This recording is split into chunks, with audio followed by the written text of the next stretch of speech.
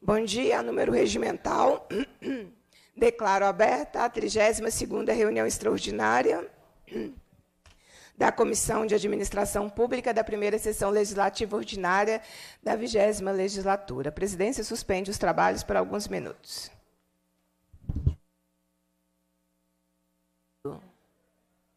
Igualzinha uma sala de aula, não está? Não, cadê as professoras? Está igualzinha a sala, né? Tudo bem. Eu quero dizer que, antes a gente reabrir oficialmente, quero dizer que estou muito feliz em receber vocês. É, sejam muito bem-vindos. É, quando terminar a audiência, a gente vê se a gente consegue levar vocês para conhecer um pouquinho da Assembleia, o plenário, tá bem? É, mas dizer a vocês que eu estou muito, muito feliz de vocês estarem aqui e participando de uma audiência pública. Né? Vocês sabem que a gente tem umas limitações, porque quem é menor de idade só pode falar com autorização dos pais. Então, se a gente conseguir alguma autorização aí durante a audiência, é, todos que tiverem autorização falarão. É, mas fora aqui do, do microfone da audiência, a gente pode também fazer um momento de conversar e fazer dessa manhã uma, uma manhã proveitosa. Né? Vocês ficaram o quê? Quanto tempo de viagem até aqui? Pesadinho, né? Então vamos, vamos fazer valer a pena estar aqui, né? Tá bem. É, então, olha só, aí eu vou reabrir. É, eu tenho que ler umas coisinhas que tem sempre um, um, um roteiro que a gente tem que cumprir chamar os convidados e convidadas para compor a mesa conosco, e aí a gente vai fazer aqui um bom debate. Depois, vocês podem ver a íntegra dessa audiência no portal da Assembleia e também as fotos, né, que são tiradas fotos, tem um álbum de fotos é, e, e tudo mais, tá bem? Então, vamos começar as nossas atividades por aqui. Os trabalhos estão reabertos à presidência nos termos do parágrafo 1 do artigo 132 do Regimento Interno, dispensa a leitura da ata da reunião anterior, considera aprovada e solicita sua subscrição.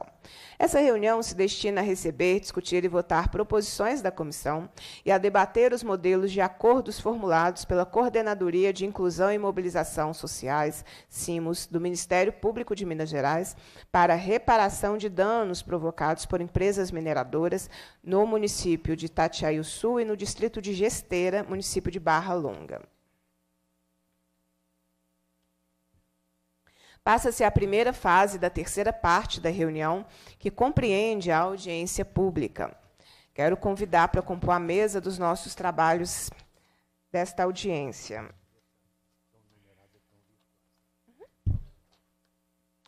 Simone Maria de Jesus, membro da Comissão de Atingidos de Barra Longa. Bem-vinda, Simone.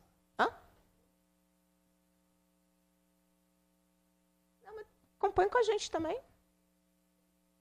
Ah, faltou o Silva. Simone Maria da Silva. Bem, então, agora sim. Compondo pra, chamando para compor a mesa com a gente. Bem-vinda. A gente pode bater palma para Simone, se a gente quiser. Convidar também o Marino D'Angelo, agricultor, representa a Comissão de Atingidos de Paracatu, Mariana, e comunidades rurais atingidas pelo rompimento. Bem-vindo, Marino. Cadê o Marino? Marino está dando uma entrevista, daqui a pouco ele senta aqui conosco.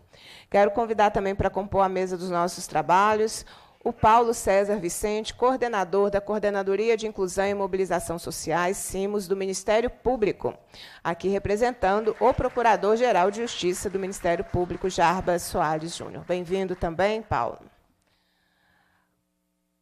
Convidar o Rafael Augusto Gomes, com muito prazer. Rafael está aqui conosco, um grande parceiro, vereador da Câmara Municipal de Barão de Cocais.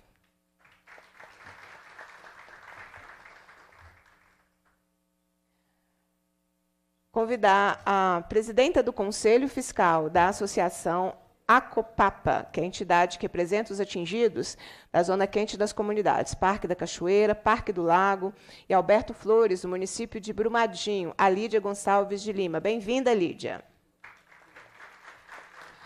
Convidar o representante da Comissão dos Atingidos de Vieiras e morador do município de Itatiaia Sul, José Roberto Pereira Cândido. Bem-vindo. Convidar também para compor a mesa conosco a Shirley Machado de Oliveira, promotora de justiça, coordenadora da região metropolitana da Coordenadoria de Inclusão e Mobilização Sociais, CIMOS. Bem-vinda, Shirley. Convidar para compor a mesa conosco também a coordenadora geral do projeto de assessorias técnicas às comunidades atingidas pelo plano de emergência da barragem Serra Azul Itatiaia Sul, a Amanda Naves. A Amanda está conosco virtualmente, não é isso aqui? Ó. Daqui a pouco nós vamos ver a Amanda na tela, mas ela está conosco virtualmente, a gente pode bater palmas para ela se a gente quiser também.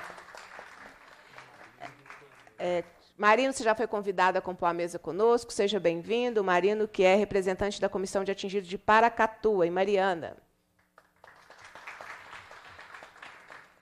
Convidar também que está conosco virtualmente o assessor da coordenação de projetos de assessoria técnica das comunidades atingidas pelo plano de emergência da barragem Cerrado Itatiaia Sul, o Guilherme. O Guilherme está conosco virtualmente também, né, Guilherme? Bem-vindo, da EDAS. E também, virtualmente, está conosco o dirigente nacional do Movimento dos Atingidos por Barragens, Joseli Andrioli. Bem-vindo, Joseli. Olha, nós também convidamos o procurador da República e coordenador da Força Tarefa do Rio Doce Brumadinho, do Ministério Público Federal, uh, Carlos Bruno Ferreira da Silva, que até o momento não chegou. Convidamos também a Defensora Pública Geral, é, Raquel Gomes de Souza para estar conosco, da Defensoria Pública de Minas Gerais. A, a Defensoria Pública estava confirmada, é, mas hoje, mas recebemos depois da confirmação uh, um, um, comunicado dizendo que não será possível a participação, pois os que viriam participar conosco Uh, eles não participaram dos acordos de Itatiaia Sul e Gesteira, não teriam subsídios para contribuir no debate. Mas poderiam ter vindo né, para escutar. Escutar também é um bom processo. Né? É, a escuta também é um processo político importante. Uh, tudo bem, né? então a gente tem essa justificativa. É, essa ideia dessa audiência ela surgiu de uma visita é, da Comissão de Administração Pública em Gesteira. Né? É, eu estive lá, eu que fui autora do requerimento. Né, a visita técnica é uma das formas de a gente levar a Assembleia Legislativa até onde é importante. Né? E foi isso que nós fizemos, né, Simone, para contribuir nas discussões da repactuação. A Assembleia Legislativa é, esteve na região rural de Mariana, né, Marino, onde nós é, vimos quase oito anos depois, à época, é, os impactos do crime da Vale Samarca e BHP né, na, na região. É, e no mesmo dia, à tarde, nós fomos em Gesteira, onde eu vi as trincas né, das casas, e nós reunimos com a comunidade. E aí, o que algumas pessoas podem achar que é muito difícil ou impossível, na verdade é muito possível, porque eu encontrei uma comunidade que dizia: olha, é, a gente construiu uma repactuação. É? É, e aí nós dissemos: olha, se tem uma proposta positiva, vamos falar dela também. Porque demonstra, primeiro, valoriza aqueles que batalharam para que essa negociação acontecesse. Então, tanto a comissão de atingidos quanto o Ministério Público. Né? É, então, demonstrando que é possível. E também demonstrando que onde a, qualquer repactuação esteja sendo feita sem participação das pessoas, não tem legitimidade. É, então, essa audiência surgiu desse diálogo, lá em Gesteira, né? dizendo, olha, aqui tem uma experiência. Depois eu estive em Sul, porque lá em Sul a gente faz o enfrentamento para que a mineradora não destrua a nossa querida Pedra Grande. Né? Já estive lá algumas vezes, também pela Assembleia Legislativa, fazendo o que a gente chama, obrigada, de visita técnica. É, e também lá teve né, a celebração de um, de um, de um de um acordo que as pessoas participaram, né? não sobre a Pedra Grande. Pedra Grande já é uma nova luta, mas é, a repactuação lá, né, a negociação lá contou com a participação das pessoas. Então, por isso essa audiência, para que a gente possa, na semana em que a gente rememora né, os oito anos do crime da Vale, Samarque, BHP, em Mariana e toda a bacia do Rio Doce, Uh, um crime que não teve ainda os responsáveis julgados, condenados e punidos, oito anos depois, é, e um crime que a reparação às pessoas não foi feita. Né?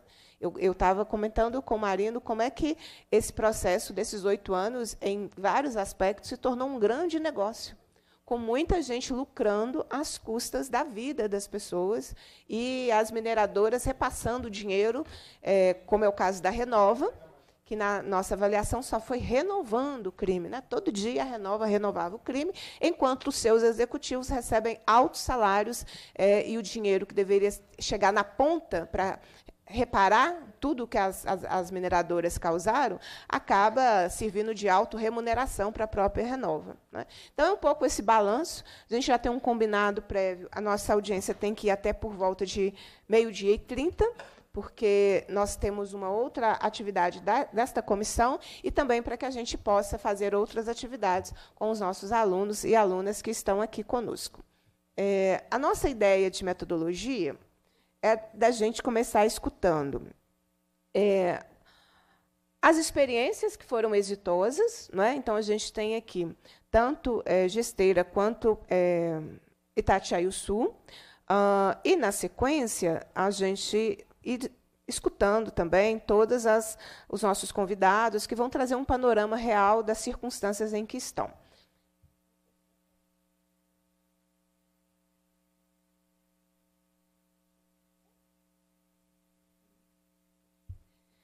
Então, nós vamos começar ouvindo a proposta, ouvindo, então. Vamos começar por Itatiaia-Sul. A gente está aqui com a Comissão dos Atingidos de Vieiras, é, que é o José Roberto Pereira Cândido. Então, vou te passar a palavra, Zé Roberto, para suas considerações. Nós vamos combinar. Nós temos aí um público de são é, 11 convidados, então a gente vai combinar um tempo aí de cinco minutos, tem um reloginho que fica ali, a gente auto se organiza para cada um trazer a sua contribuição. E essa audiência também é uma contribuição ao debate sobre a repactuação que está aí em curso nacionalmente, né? É, demonstrando a necessidade da escuta e do protagonismo dos atingidos. Então, te passo a palavra para que você traga suas considerações ao debate. Bom dia a todos. É. Bom dia a todos. Sou lá de Itatiaia-Sul, chamo José Roberto Pereira Cândido eu trago aqui um, um problema nosso aí desde 2019, né? Lá por barragem lá. Uma barragem que está em risco 3, né? Eminente. E desde 2019 que a gente vem se organizando lá a participação popular, né? Junto com o Ministério Público, doutora Shirley, né? Machado, Jonas, e aí faz essa essa intermediação. A gente precisa muito do reforço, né? Que a, a, a, a participação popular possa é, garantir lá junto a uma melhor é, comunicação e uma melhor reparação. Cerca de 100 famílias foi tirada de casa com a lama invisível, né? Uma lama é, que hoje prejudicou muito a comunidade, tirando ali a cerca de, de 100 pessoas. E isso trouxe muito prejuízo para as comunidades. Então, é, a gente, na época que foi tirada aquelas pessoas de casa, a gente se organizaram é, com grupos de base, com, com conversa, conversa, de casa em casa, né? Ali é, cedendo cada um um dia na casa de cada um e se organizando. E se organizamos para enfrentar as mineradoras como várias outras coisas, a gente enfrenta lá as mineradoras que é, avançam muito sobre as nossas regiões, né? E, e aí a gente conseguiu a garantir também a participação da, da assessoria técnica independente, né? Que é muito importante.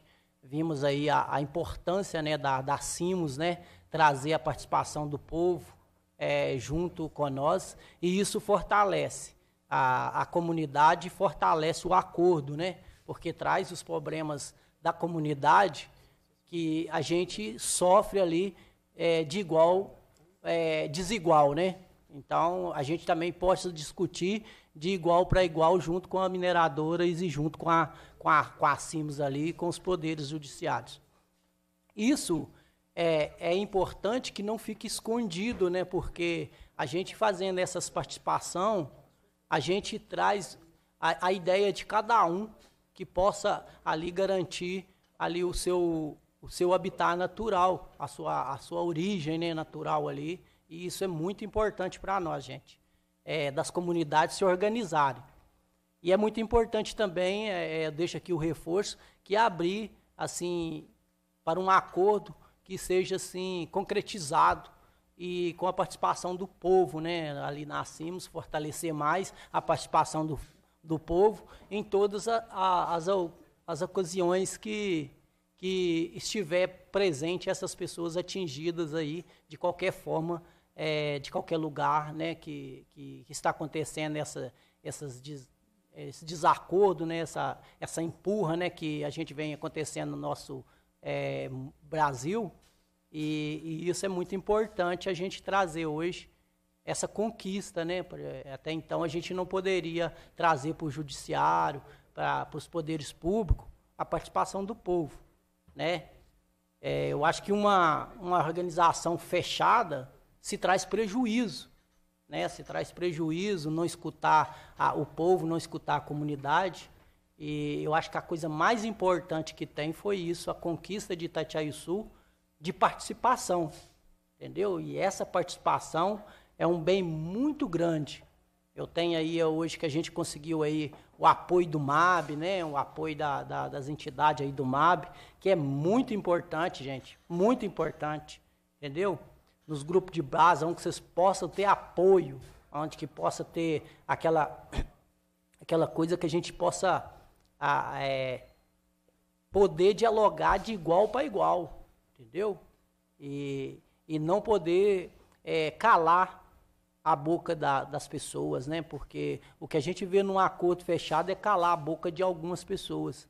E a pessoa tem aquela obrigação e, e tem aquele dever de, de falar o que sente e de defender o seu local aonde vive, porque eu deixo muito claro lá na minha região que a gente chegamos primeiro. Né? Então a gente chegamos primeiro do que uma mineradora, a gente chegamos primeiro até do que a justiça, né? Porque a justiça foi, com, foi conquistada é, em 88, né? Então, 1988, né? Então, se eu não me engano, acho que foi isso. Então, a Constituição é, foi ali em 88. Então, a gente já existia aí. Então, se a gente conquistou isso, a gente tem também que garantir essa participação do povo, né? garantir essa, essa, essa, essa assessoria que possa nos auxiliar e nos ajudar, entendeu? E eu deixo aí bem claro que a gente abrir mais uma fala aí para Simos deixar aí a, a, a, participação do povo mais, mais ativa, né? Então, é muito bom para nós a participação. Então, a Simos abrir aí essa, essa esse acordo aí, que possa participar mais pessoas dentro da, da, da reparação aí da, da, das comunidades. Muito obrigado. Muito bem, Zé Roberto. Nós que te agradecemos. Eu vou passar as considerações agora para a Simone. A proposta é exatamente primeiro a gente dizer, olha, Itatiaio Sul teve um acordo que teve a participação das pessoas, que como Zé Roberto disse, as pessoas estão lá antes da mineradora chegar. E, portanto, é, elas é que têm que dizer né, das suas necessidades, da sua vida. E aí, depois que nós escutarmos as experiências, aí nós vamos para uma segunda parte, que é exatamente onde nós enfrentamos problemas, dificuldades, é, pactuação sem participação, tá bem? Então, por isso que eu vou te passar a palavra agora, Simone, para contar da, da, experiência que deu certo, é, porque qual, qual que é o nosso esforço aqui? Demonstrar, para além de nós que estamos nessa mesa, gente, é possível fazer repactuação com participação. Né? É, só que tem que fazer essa escolha, tem que escolher, né? É respeitar as pessoas atingidas e trazê-las para um protagonismo é, dessa discussão. Então, vou te passar a palavra para que você também traga a sua contribuição ao debate. Bom dia a todos e todos, em especial aos meus alunos que estão aqui hoje, minhas colegas né, da Escola Estadual Padre José Epifânio Gonçalves de Barra Longa. É, Vou trazer né, um breve relato é, sobre a participação dos atingidos. Quando a Bia diz, né, é, repactuação, pactuação sem participação dos atingidos, então é importante a gente trazer para aqui, para esse momento, para que o povo que está lá decidindo a vida né, dos atingidos num todo, que estão na repactuação sem a participação já sabe que sem participação não tem reparação. É? Estão se articulando, estão tratando as nossas vidas sem a nossa participação. Nós não sabemos nada do que está acontecendo lá. E Gesteira é um exemplo, né? Que com participação é possível avançar, é possível fazer a reparação. E nós aguardamos oito anos por uma, uma reparação que não aconteceu pela Fundação Renovo. Essa reparação só foi possível a partir do momento né, que o Ministério Público também nos permitiu participar da, da mesa de negociação. Porque quem sabe o que as pessoas atingidas precisam são o povo atingido. Não adianta as pessoas sentarem lá na sua mesinha, no arco adicionado, e ficar decidindo a vida das pessoas atingidas. Ontem eu acompanhei é, uma audiência que teve nessa casa sobre a saúde, Inclusive, foi citado Barra Longa, Mariana, mas em nenhum momento nós fomos convidados, nós não participamos. Tinha pessoas sentadas nessa mesa que não conhecem a nossa realidade, não conhece é, o sofrimento da população de Barra Longa. Nosso povo, Bia. Eu vou aproveitar a oportunidade, né? A minha fala não é essa, mas eu quero deixar aqui. Nosso povo de Barra Longa está morrendo de câncer, Bia. Nosso povo está sendo dizimado pelo câncer não temos nenhuma estrutura em saúde, não temos nenhum atendimento em nenhuma esfera, né, do municipal ao federal. Então, deixo aqui também um apelo pelo nosso povo que está morrendo a mercês lá em Barra Longa. Então, no Gesteira, né, houve é, uma negociação, igual eu disse, durante oito anos nada aconteceu. Tanto é, né, doutor Paulo, que lá na comunidade Gesteira não tem nem a terraplanagem. Né? A gente ficou tão abandonado, tão esquecido lá, que nem a terraplanagem não houve. Mas foi porque o povo de Gesteira não lutou? Não foi. Povo de Gesteira é povo de luta e sempre está em luta. Mas estavam fazendo uma reparação, uma negociação, sem a participação dos atingidos. E a partir do momento que o Ministério Público, né, que nós também nos articulamos, né, teve a participação do Ministério Público, sim, mas o crédito é nosso. Esse mérito, esse crédito, eu não tiro de nós, de nenhum de nós da comunidade, de maneira alguma. Porque povo organizado é povo que vence qualquer luta. Né? E também, para ter uma reparação, precisa-se de assessoria, né? Porque a assessoria é a ferramenta de luta dos atingidos. Porque muitos de nós não conhecemos muita coisa ainda, apesar que nós somos obrigados a entrar na luta, Hoje a gente entende bastante coisa, mas tem as partes documentais que é assessoria técnica. Né? Nós falamos o dia a dia, a nossa linguagem, mas para poder dialogar com as empresas, com o Ministério Público, precisa falar de uma forma técnica. E para falar com essa, de, dessa forma técnica que é necessária, é só através da assessoria. E nós estamos sem assessoria lá em Barra Longa, né? Nós não temos a, a, assessoria. Então, assim, a partir do momento que nós tivemos direito de participação, que nós fomos para a mesa, o Ministério Público foi para a gesteira, nós viemos para Belo Horizonte, foram várias audiências cansativas. Nós tivemos uma audiência aqui até às 10, 11 horas da noite. Nesse dia nós ficamos até sem jantar, porque a audiência terminou muito tarde. Mas a própria mineradora pode ver né, que com participação é possível avançar. Então, o porquê que está se discutindo uma repactuação sem participação?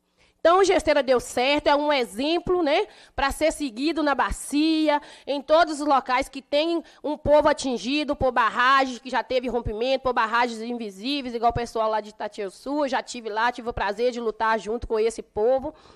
E a única parte que não, não deu certo, Bia, então eu tenho que trazer também, né? Deu certo o acordo? Deu. A única parte que não que não está andando é a parte que está na mão da prefeitura, Bia. Porque no acordo teve um valor, né? Que é 1 milhão 560 para a prefeitura comprar o transporte para os alunos da comunidade de gesteira. E esse transporte não foi comprado até hoje. É, é, só pede prazo, prazo, prazo. A gente informa para o Ministério Público que está errado e que tem que fazer, né, o Ministério Público tem que tomar providência, porque o Ministério Público assinou junto com a comunidade de gesteira. Não é justo só o povo de gesteira ficar todo dia recebendo as queixas da comunidade, que estão é, mais do que certo, porque nós assentamos numa mesa para fazer o acordo, e o transporte desses alunos não foi comprado, Bia. O dinheiro está no caixa da prefeitura e os alunos é, estão, assim, não estão sem o transporte, porque a gente fez essa denúncia no Ministério Público, também estão com o transporte emprestado, mas o valor foi depositado no caixa da prefeitura. E numa das reuniões nossas do comitê, é, o CODAP ofereceu para a prefeitura que pudesse comprar os transportes direto da mão dela, para não precisar desse processo de citação, essa demora toda que a prefeitura é, diz que é isso que está acontecendo, e a gente sabe na realidade que não é, porque a gente conhece muito bem a, a, o nosso povo. Então, que seja tomada, doutor Paulo. Como o senhor assinou junto com a gente, o senhor é responsável também e que eu tenho de falar, eu vou falar com o senhor mesmo, né? Então, que toma providência a respeito disso. Se a prefeitura não está fazendo, ela precisa ser punida. Se fosse nós, povo, a gente já teria, já estaria pagando por isso. Então, se a prefeitura não está cumprindo aquilo que é o dever dela, vão tomar providência. É, a gente já fez essa denúncia, a gente já mandou as mensagens das mães, do povo da comunidade, que todo dia cobra do pessoal que assinou o acordo, que somos nós, inclusive eu. Então, é, é isso. Obrigada, Simone. Eu combinei aqui com o, o Paulo César que nós, o Ministério Público falará mais ao final, né? Para é, fazer a escuta. É, inclusive, foi sugestão né, de vocês, vocês fazerem a escuta agora, e aí, quando o Ministério Público falar, dar essas devolutivas também. Mas nós também podemos questionar, por meio de requerimento aqui da Assembleia, é, a Prefeitura a respeito. Não é? é e essa questão do, do adoecimento, eu estive já estive em Barra Longa algumas vezes, né? É, e é, é, é cruel é, como, como a, a, Renova, em nome das mineradoras, tem adoecido a população. A gente vai lá, isso é visível. É, e é a responsabilidade de devolver a vida com é, plenitude à população de Barra Longa é uma responsabilidade nossa, de toda Minas Gerais. Não é? Essa audiência que a que a Simone citou, ela foi feita por um outro parlamentar na Comissão de Saúde. Eu também não tinha, não, não tive conhecimento e, enfim. É, vamos agora ouvir o José, Jocely, que está conosco virtualmente. Jocely, que é da Direção Nacional dos Atingidos por Barragem, trazer suas considerações. Jocely, bom dia, com a palavra. Nós vamos vê-lo ali. Ó. Ou aqui, né? Ok, bom dia. É, quero cumprimentar aqui a nossa deputada Beatriz Cerqueira, guerreira do nosso povo mineiro, também a Simone de Baralonga, né, o Marino, Marino que sofreu inclusive uma violência, além de ser violentado por ser atingido, né, outro dia teve violência por parte dos policiais pelo motivo dessa empresa ter causado esse crime. Então, nossa solidariedade, né, ao, a, a aqui o Paulo César, a Shirley, tem acompanhado vários conflitos em vários lugares dos estados, né? o Rafael, a Lídia, o Zezé, né? todos presentes aí. E a todos os atingidos que estão assistindo a TV Assembleia e que vão depois também poder ter acesso no YouTube e outras ferramentas. É, o MAB não poder estar presencialmente aí, porque estamos aqui em Brasília, né? Fizemos uma jornada de luta agora do dia 4 ao dia 7, é, na tentativa, inclusive, de marcar para a sociedade brasileira os oito anos do crime da Vale da BHP lá em Mariana, e que até hoje não tem uma solução concreta, a reparação integral não chegou, a poluição do rio continua muito forte. Então, nós viemos para Brasília para tentar dialogar o Brasil inteiro. E aqui reivindicamos a PENAB, a Política Nacional dos Atingidos por Barragens. Inclusive, conseguimos uma vitória aqui em Brasília, que foi aprovar a PENAB na Comissão de Infraestrutura e fazer um pedido de urgência. Está marcado para terça-feira o compromisso do presidente do Senado, Rodrigo Pacheco, por em votação a PENAB. E aí nós ficamos em mais de 100 pessoas aqui em Brasília para poder voltar só quando for aprovada a Lei Nacional dos Atingidos por Barragens. Lei essa que nós já conquistamos no estado de Minas Gerais, né? A Beatriz Cerqueira é prova e foi uma deputada que se esforçou muito para garantir essa lei dos atingidos em Minas Gerais, e eu quero justamente trazer esse contexto, né? O que, que é um acordo, o que, que é lei, né? E o que, que é a não participação dos atingidos. É, o MAB tem uma experiência de luta no Brasil há mais de 30 anos. É, desde que eu era bebê, eu nasci, coincidentemente, o mesmo dia que o MAB nascia na região sul do país, né? E já estou há 19 anos em Minas Gerais junto aos atingidos na luta por direito. Nós temos muita experiência de várias situações vividas pelos atingidos. É, e dizer que, primeiro, a inexistência de um marco legal no Estado faz com que a coisa fica desorganizada.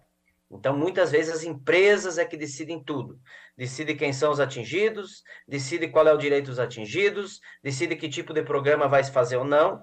Né? Então, depende de os atingidos se organizar, pressionar e aí sim conseguir algumas coisas. Por isso que o MAB luta para ter lei, para ter lei no Brasil. E essa política nacional é uma lei que vai ser fundamental, assim como a lei que nós já conseguimos em Minas Gerais, e que é uma lei, infelizmente, em Minas, que não vem sendo cumprida. Porque a lei em Minas fala muito claro o direito do atingido, primeiro, a informação qualificada em todos os momentos, né, no planejamento e tal, e pós-rompimento, no direito a saber dos programas, tudo isso. Fala também a lei da opção livre e informada dos atingidos, né, na busca das alternativas de reparação. Fala mais, fala que o atingido tem direito à participação e à deliberação, ou seja, ele, ele não só tem direito à participação, mas como tem direito a deliberar sobre os programas e os planos a serem executados para garantir a reparação integral. Tem o direito à negociação livre, prévia e coletiva do seu direito. Tem o direito à reparação integral, tem direito aos serviços públicos e tem direito à assessoria técnica independente, escolhida por ele, bancada pelos empreendedores, e a assessoria tem a, a tarefa de orientá-los a alcançar a reparação integral. Isso tudo está na lei. O problema é que essa lei não vem sendo cumprida em Minas Gerais. O exemplo de Gesteira e o exemplo de Itatiaia Sul é um exemplo que mostra que quando tem organização dos atingidos, tem pressão e tem abertura da instituição de justiça. No caso aqui, parabenizar a Simos pelo trabalho que teve, né? No, no caso de Tatiana Sul, o Ministério Público Federal também acompanhou, né? E conseguimos, com organização popular dos atingidos através do MAB, com a, a equipe do Ministério Público, do, da Instituição de Justiça sensível e, de fato, endereçada a essa causa da participação. Fazer, de fato, uma negociação dos atingidos estiver na mesa, onde o movimento esteve na mesa e conseguimos alcançar uma vitória extraordinária. Se comparar o acordo Itatiaia Sul, o acordo de Gesteira, com os outros acordos feitos em Macacos, em Barão de Cocais, né, em Brumadinho, agora em Mariana, né, ou os próprios acordos parciais em Mariana, teve um acordo, né, que a, a Simone acabou citando, da reforma das casas na região de Baralonga. Uma vergonha, uma vergonha. Os atingidos não tiveram direito à participação, né, decidiram em gabinete o que, que seria a reforma das casas e agora vai ter que rever, porque nós não concordamos com a forma que foi feito. Né? Então, assim, é, quando tem a participação, quando a participação é organizada através do movimento, quando tem a ferramenta de assessoria técnica, que traz os dados, que qualifica o diagnóstico, que aponta os planos, que a, a, garante a participação popular dos atingidos, tende a ter sucesso a reparação. Quando não tem isso, acontece o que está acontecendo nos outros lugares. Brumadinho é uma vergonha. Fizeram um acordo de gabinete, sem garantir a participação dos atingidos, né? deixar o direito individual de fora e agora, então, está lá toda a situação né, a ser resolvida por conta dos atingidos, né, lá na justiça, né, e perde-se a força, a oportunidade de resolver os problemas, né? Os acordos feitos, muitas vezes têm boa intenção nos programas, mas se ele não leva em conta a participação, não vai funcionar, porque não é só uma questão financeira, é uma questão de metodologia de como implementar as coisas, né? Então, vimos um acordo em Brumadinho, que foi feito de gabinete, que não chegou o recurso ainda à população de forma necessária, né? Se demora, demora muitas coisas para acontecer. A exemplo do 1.1, que são projetos coletivos, que foi conquistado, inclusive com pressão nossa, nesse acordo, né? Mesmo sem nós estar na mesa de negociação, nós tínhamos um bom diálogo com as instituições que levaram a pauta para dentro do acordo e conquistamos tanto o PTR como o 1.1, o anexo 1.1, que garante os projetos coletivos. No entanto, a demora né, é muito grande. Já se passou mais de dois anos disso e até agora ainda não se começou a executar. Por quê? Porque tem a dificuldade de não ter tido a participação exata dos atingidos para já ter uma imediata execução dos projetos. Né? E aí ficou sem governança o negócio e agora está se correndo atrás de estruturar uma governança adequada para fazer funcionar os programas. Qual é a nossa preocupação e a nossa denúncia? Não se aprendeu com os erros de acordos de gabinete, inclusive né? É, acordos que garantem a confidencialidade, o que é um absurdo, é uma vergonha. Veja só, os atingidos são atingidos por, crime, por empresas criminosas, destrói a vida do povo, o povo não tem direito a participar do debate do futuro da sua vida, e a negociação não só é feita em gabinete, como é, é garantida a confidencialidade. Confidencialidade do que, cara pálida? Do direito das pessoas que foi violado, delas não poderem ter instrumentos para reivindicar e para se recompor, para garantir a reparação integral. Então, isso tem sido uma violência, não só um erro, né, porque não vai funcionar, mas tem sido uma violência aos atingidos. Não chegava o crime que as mineradoras cometeram, que as empresas cometem, ainda a violência, muitas vezes avalizada pelas, pelos governos e as instituições, de não garantia da participação dos atingidos e violação da lei, da lei já conquistada em Minas Gerais, e esperamos que a lei seja conquistada agora a nível federal. E a lei a nível federal vai falar essa mesma coisa: direito à informação, direito à participação, direito à assessoria técnica, direito aos atingidos discutirem, aprovarem os planos de como que vão ser de fato, é, porque são eles os que foram prejudicados. Né? São eles que têm que decidir o rumo das suas vidas. Sempre foi assim. Isso aí, né, Zezé? Chegamos primeiro. Por que, que agora, depois de violentar, da violência cair sobre as nossas costas, destruir a nossa vida, destruir nossa cultura, destruir nossa comunidade, destruir nossa fonte de renda, agora pessoas em gabinetes, em ar-condicionado, sem necessariamente ter a compreensão da luta do povo, da vida do povo concreto, decidem decisão das nossas vidas. Quero fazer aqui, né, ressaltar a importância que tem a CIMOS, né, como um órgão dentro do Ministério Público que garante a participação popular. Onde a CIMOS está, geralmente a coisa acontece no sentido de garantir a participação. Mas, infelizmente, na instituição de justiça, muitas vezes é boicotado esse papel. A própria CIMOS teve a restrição em participar dos acordos de macacos, do acordo de Barão de Cocais, ou seja, tem gente dentro das instituições que não entendeu ainda né, a tarefa que tem e o direito que o povo tem. E, portanto, essa crítica é muito forte que nós estamos fazendo agora para não se cometer um novo erro na área de pactuação em Mariana. O primeiro acordo já não deu certo que foi o TETAC, feito pelos governos, principalmente, lá no início do crime de Mariana, né, do crime da Vale Mariana, fizeram uma bonita foto no Palácio do Planalto, mas as coisas não aconteceram. O MAB foi fundamental para fazer a denúncia desse acordo de gabinete e garantir a ação civil pública que o Ministério Público Federal fez. No entanto, hoje o Ministério Público Federal não age com suficiência força para garantir a participação dos atingidos. E isso demonstra o papel que foi feito nesse acordo lá em Baralonga das casas, né, e que não deu certo. Né? E, portanto, né, essa é uma crítica, porque a instituição de justiça, ela tem a tutela dos atingidos. Mas a tutela não está não, não tá permitido fazer o que bem entende. A tutela tem que ter o, o respeito a essa população. E isso que a gente busca. Estamos tentando garantir o um marco legal, mas sempre, historicamente, o MAB fez acordo com as grandes empresas para garantir direito dos atingidos. E, portanto, nós temos experiência de como fazer isso. Isso é a prova concreta de como foi organizado Itatiaia Sul e em Gesteira. Né? Não foi porque agora as empresas resolveram ser boazinhas e sentar na mesa. Foi porque em oito anos se construiu a organização, se garantiu assessoria técnica, se fez um diagnóstico adequado, se viu a alternativa que precisava ser feita, e aí sim ao ter o processo de, de, negociação, permitiu atingido estar na mesa organizado, aí se fez um grande avanço. Esperamos que a implementação siga nesse rumo, que a implementação é outro desafio. Muitas vezes também, né, se não garantir que o povo seja o sujeito, né, decidir em gabinete a, a, a, implementação dos programas também vai dar errado. Então, alerta que a gente faz em toda essa conquista. Temos o desafio ainda de implementar para garantir a reparação integral, que não é nada mais do que o direito das pessoas a retomarem suas vidas, né, igual ou melhor do que estava antes. Melhor devia ser, porque tem que pagar a indenização de todos esses anos que o povo sofreu e vem sendo violentado.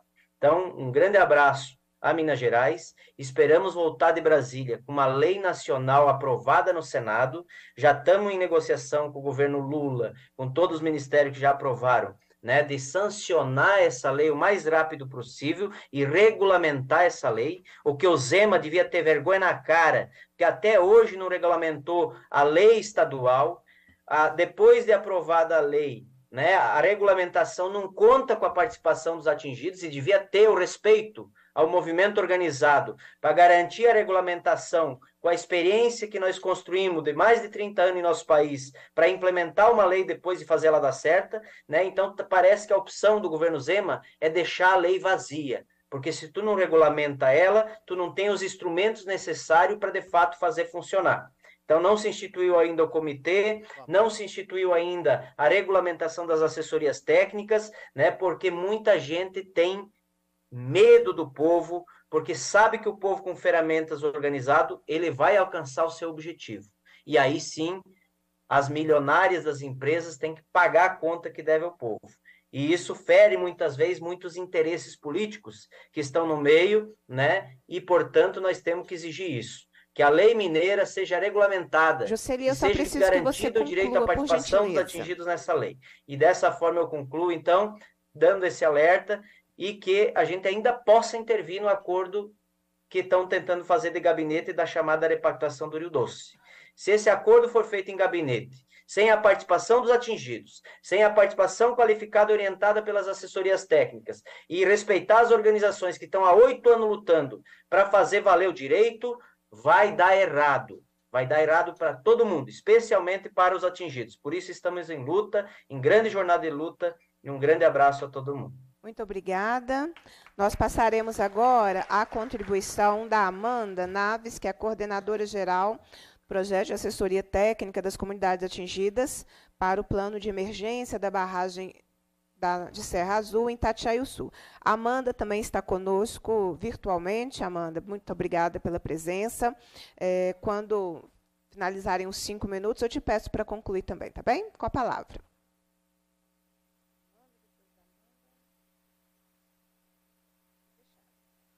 Seu áudio está fechado. É ela que abre, gente? É. Bom dia, pessoal. Tava, não estava conseguindo ligar o áudio. Bom dia a todas e todos. É, primeiro, queria agradecer pelo convite. Né, uma, uma discussão e um debate muito ricos e muito importantes para todos nós, né, e para todos nós mineiros e mineiras, mas também para todo o Brasil, né, que está é, que tem que lidar com, com esses empreendimentos predatórios. E queria conversar um pouco, então, sobre a experiência de Sul. Acho que Zezé trouxe muito bem já vários elementos da nossa experiência. É, Jocely também trouxe alguns elementos importantes né, para a gente fazer essa avaliação. É, e acho que a fala de que as falas que me antecederam, né, principalmente a, a de Zezé, a de Simone, demonstram como é, é, é importante a participação popular e como esses casos comprovam que a participação né, dos atingidos, das comunidades atingidas, em todas as etapas da construção de um projeto de reparação, não torna o processo mais lento, pelo contrário. Né? A gente vê que muitas vezes no, nessa na disputa de narrativas com, com as empresas, elas se colocam como mais técnicas, como mais é, eficientes, muitas vezes colocam a participação do povo como algo que vai atrasar, algo que vai tornar a discussão menos pragmática, é, que vai dificultar é, o, avan o, o, avançar das negociações, mas pelo contrário. Né? A gente aqui em Sul está presenciando isso há quatro anos que, que a assessoria técnica da EDAS está acompanhando esse processo que, pelo contrário, a participação popular torna mais célere, né, mais célere e mais efetiva a reparação. Então, aqui, né, com todos os, é, com todos os poréns, porque é claro que é, se a gente estivesse numa situação de real justiça, né, todas as demandas dos atingidos seriam atendidas, e infelizmente, é claro que tem alguns pontos em que a gente ainda não conseguiu avançar como gostaria, mas a gente tem um processo em que houve um levantamento de danos de todos é, os núcleos familiares atingidos que se autodeclararam atingidos, né, procurando a assessoria técnica. A gente tem uma, uma, assessoria técnica também, que foi contratada pouco tempo após o acionamento do plano, acho que isso é um elemento importante, então, que chegou rapidamente ao território, né, conheceu as comunidades, começou a trabalhar na identificação dos danos. E aí, junto com as comunidades, conseguimos fazer esse levantamento, construir uma matriz de danos participativa com os atingidos, né, debatendo as propostas nos grupos de base. É, e aí, né, acho que é um dos elementos importantes da, da forma como as comunidades se organizam e, e, que vem muito da experiência do MAB também, que é essa organização pelos grupos de base, né, esses grupos de atingidos divididos territorialmente, é, grupos menores onde eles se sentem mais à vontade para participar e construir as propostas.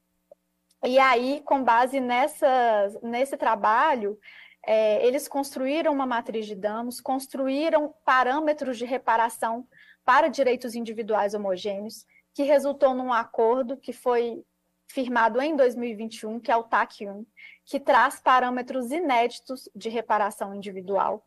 Né? Então, assim, ainda teriam outros que seriam importantes de serem conquistados, mas comparado com outros casos, a gente tem é, valores de reparação que foram acordados na matriz de danos que inauguram precedentes importantes, inclusive comparados a precedentes judiciais que existem, né? por exemplo, em relação a danos morais, né? com, uma, com cerca de, de 12 categorias de danos morais que reconhecem cada esfera do dano que foi causado à imagem, à personalidade, enfim, a esfera individual, a esfera íntima dos atingidos, então dano à saúde, dano ao trabalho, né, dano às relações familiares, dano às relações com amigos e vizinhos, é, vários danos que na mesa de negociação com a empresa é, houve uma resistência porque é, sob o argumento de que dano moral na, né, no precedente judicial não se tratava assim de forma partida, era um dano moral só, pelo, né, por, pelo, pelo dano, pelo evento danoso, e, é, mas com a luta e com a insistência das comunidades atingidas, é, foi possível alcançar esse, dentre outros precedentes, né, a, a indenização é, pela a indenização ou restituição pela perda da moradia ou da posse do imóvel sem a transferência do imóvel antigo para a mineradora, o que para nós soa como uma obviedade, né? Claro que para receber uma indenização não deve ser uma condição você transferir a sua propriedade para a causadora do dano, mas infelizmente em alguns territórios isso aconteceu. E foi importante que isso esteja expresso no TAC de Itatiaia Sul, que o recebimento da reparação não significa que o atingido tem que transferir a propriedade do seu imóvel atingido para a mineradora. Então, assim, tivemos a celebração do TAC 1, tivemos o início da execução do TAC 1, e agora já estamos quase finalizando, né, com assessoria para cada núcleo familiar atingido não negociar sozinho com a mineradora.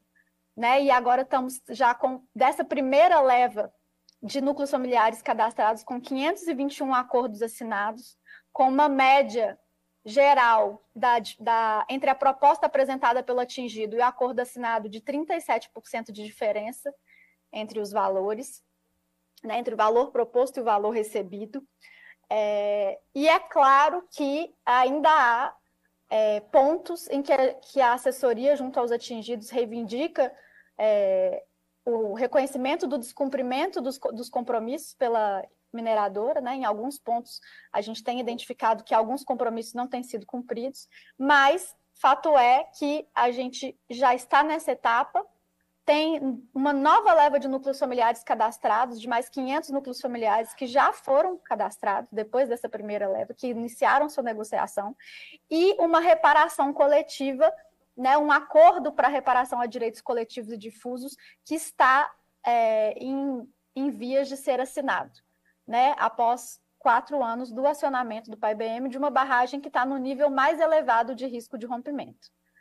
E é, algo que é muito importante nesse processo, a comunidade participa de todas as mesas de negociação. A comunidade senta com o Ministério Público e mineradora. Não há negociação da reparação sem a presença dos representantes das comunidades atingidas. Né? Aqui temos o Zezé, que representa a Comissão de Atingidos de Itatiaio Sul pela comunidade de Vieiras, e temos mais outros 14 representantes dessas comunidades que sentam na mesa em todas as etapas. Né? Não existe negociação de portas fechadas e a portas fechadas. Isso é muito importante. E isso comprova que é possível, não, não, não é só possível, como provavelmente é mais provável alcançar uma reparação rapidamente, né?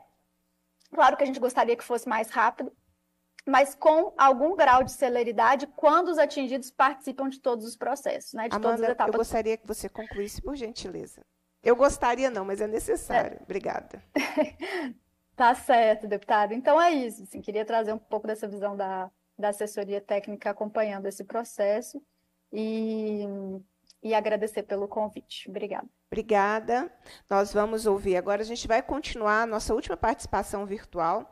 Nós vamos ouvir agora o Guilherme. O Guilherme é assessor de coordenação de projetos, assessoria técnica às comunidades atingidas pelo plano de emergência da barragem de Serra Azul em Sul. Ele está conosco, da EDAS, está conosco aí também. Guilherme, cinco minutos para trazer suas considerações. Muito obrigado, bom dia a todos e todas. É saudação à deputada Beatriz Cerqueira e à Fernanda Laje, sua assessora, agradecendo em nome de vocês, é, no nome de vocês, e em nome da Associação Estadual de Defesa Ambiental e Social, a, a EDAS, pelo convite. Né?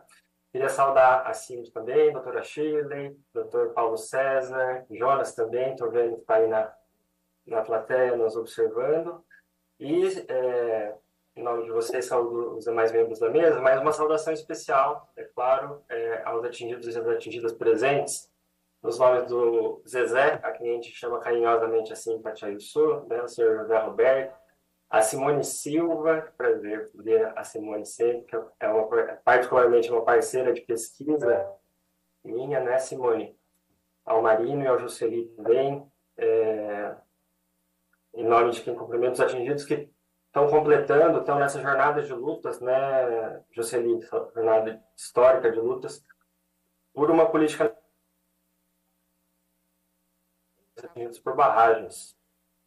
Como a Amanda já trouxe reflexões, dados, né, uma reflexão mais específica de Tatiana Sul, pessoal, vou fazer aqui uma fala um pouco mais voltada, uma reflexão mais geral, que a gente tem conversado na EDAS, e inclusive eu tenho uma, uma, uma peculiaridade que é é, assessorar hoje, tecnicamente, as comunidades atingidas de Itatiaia Sul, mas ter pesquisado na minha tese de doutoramento a situação de gesteira, né? Então, estou muito feliz por estar juntando esses dois caminhos aqui e, e, acho que me permite ter um olhar mais geral.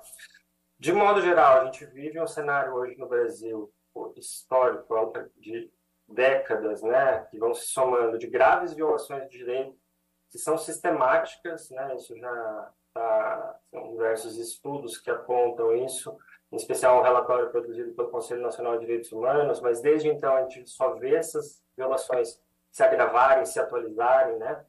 É, por parte das empresas que controlam barragens no Brasil, né? seja de mineração, de rejeitos de mineração, sejam hidrelétricas, sejam de reservatórios de água.